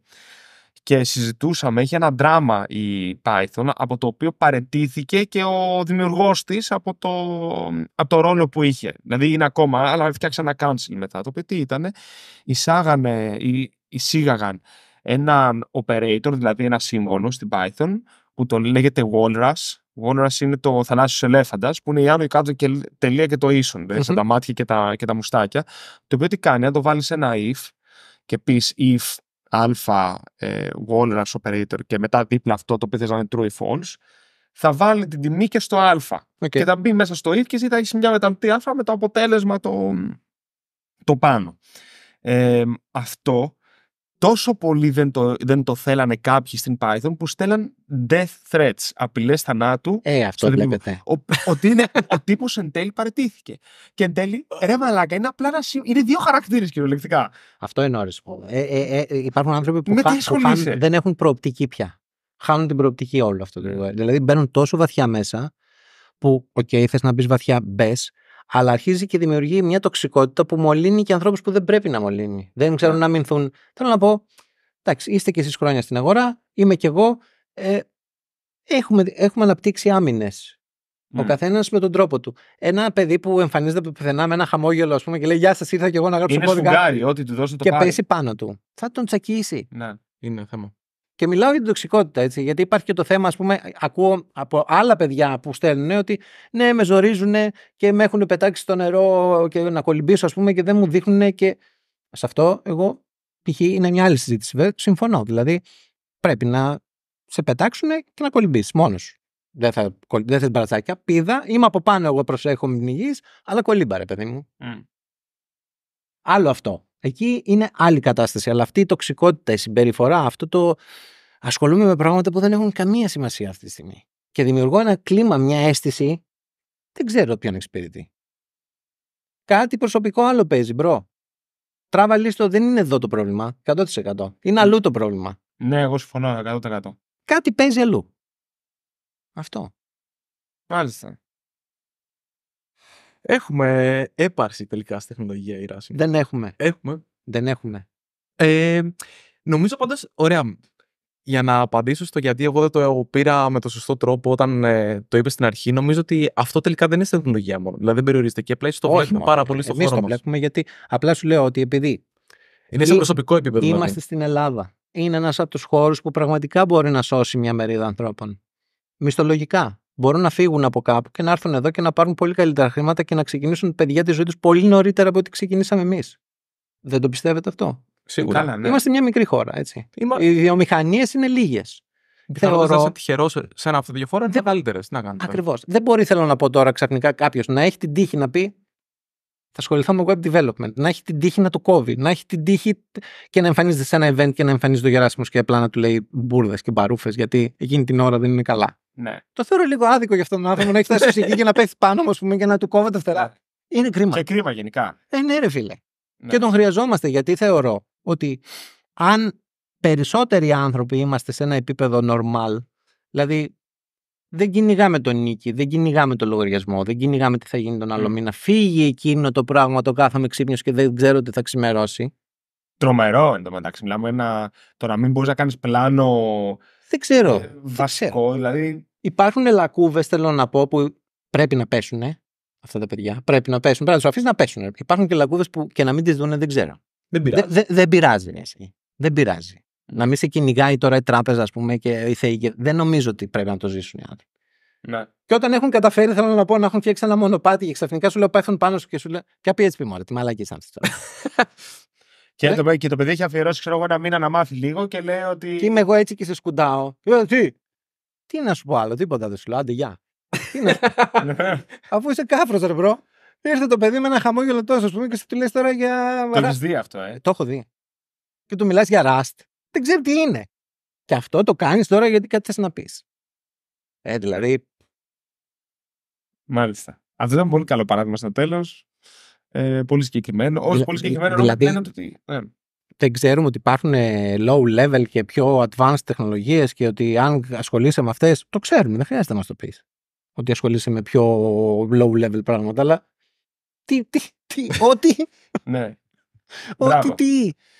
Εντάξει. Ναι. Αυτά. Ωραία πράγματα. Εγώ νομίζω ότι είναι ωραίο να το αφήσουμε έτσι με αυτό το, την ιστορία για, Α. για, για λήξη. Τίποτα. Ναι. Αν πρέπει Έχω- να κρατήσουν κάτι από μένα και κλείνω, είναι αυτό. Ε, Λίγο προσοχή ποιος είναι γύρω σας όταν είστε σε social events. Λίγο το νου σας. Τίποτα άλλο. Έχουμε κρατήσει μια κρεμότητα την οποία εγώ θα την αφήσω για επόμενη φορά. Τώρα είναι η δεύτερη φορά που βρισκόμαστε. Ναι. Και είχαμε πει ότι τη δεύτερη φορά που θα βρισκόμασταν θα κάναμε review στο επεισόδιο με τον diversity που είχαμε κάνει, Μμμ. με το οποίο εσύ διαφωνούσες πολύ με αυτά που λέγαμε. Πω, πω, δεν το θυμάμαι καν τώρα. Είδες. Οπότε Δεν θυμάμαι καν με τι διαφορά. πριν την τρίτη φορά Ναι. Να το δω θα το δούμε και θα έρθω. και θα τα πούμε. Για, ναι. για review. Ωραία. Οπότε κλείνοντας, ε, αν ενδεχομένως θυμάσαι, προτείνουμε πράγματα στο κοινό. Α, μ, ως καλεσμένος μπορείς να προτείνεις και παραπάνω από ένα. Εγώ και ο Πάρης περιοριζόμαστε στο ένα. οκ. Βιβλία, podcast, Βιβλία, podcast, ταινίες, τεχνολογίες. σειρές. Οτιδήποτε. Πρώτος ή τελευταίος θα προτείνεις; Τελευταίος, γιατί δεν μου έρχεται τίποτα αυτή τη στιγμή. Ήρθα απροετοίμαστος. Πάρη.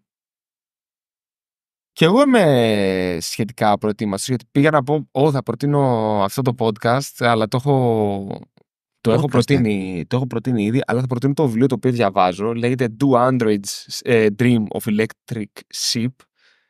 Do Androids Dream of Electric Sheep. Το οποίο είναι το βιβλίο από το οποίο επηρεάστηκε το Blade Runner, η ταινία. Οκ. Είναι δηλαδή στη- ε, λίγο διαφορετική, αλλά πάνω εκεί βασίζεται η, η ταινία και αυτό διαβάζω τώρα. Είναι του Philip Dick. Οκ. Ε, εγώ θα πω στη τεχνολογία, δεν θυμάμαι αν την έχουμε προτείνει, αλλά σε περίπτωση που κάποιος ψάχνει ένα έτσι front-end framework και με σκοπό να σώσω τα νέα παιδιά από το React. ναι, τότε αυτό να το πούμε. Ε, Αυτό, όχι. Θεωρώ το React είναι μια πολύ ενδιαφέρουσα, αλλά πάρα πολύ σύνθετη Είναι, ταυτόχρονα τεχνολογία. Οπότε, εγώ θα έλεγα ότι αν κάποιος θέλει να παίξει με κάποια τεχνολογία για static sites ή semi-dynamic sites, να δει το Nuxt.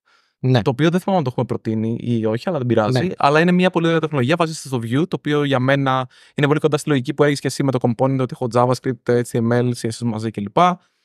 Θεωρώ ότι είναι λίγο πιο καθαρό. Μμμ. Και ίσως μια καλή επιλογή για αρχή. Οπότε, αν κάποιος ψάχνει με τι να παίξει και θέλει να παίξει με κάτι. Α ρίξει μια ματιά. Πολύ ας ρίξει μια ενδιαφέρον. ματιά.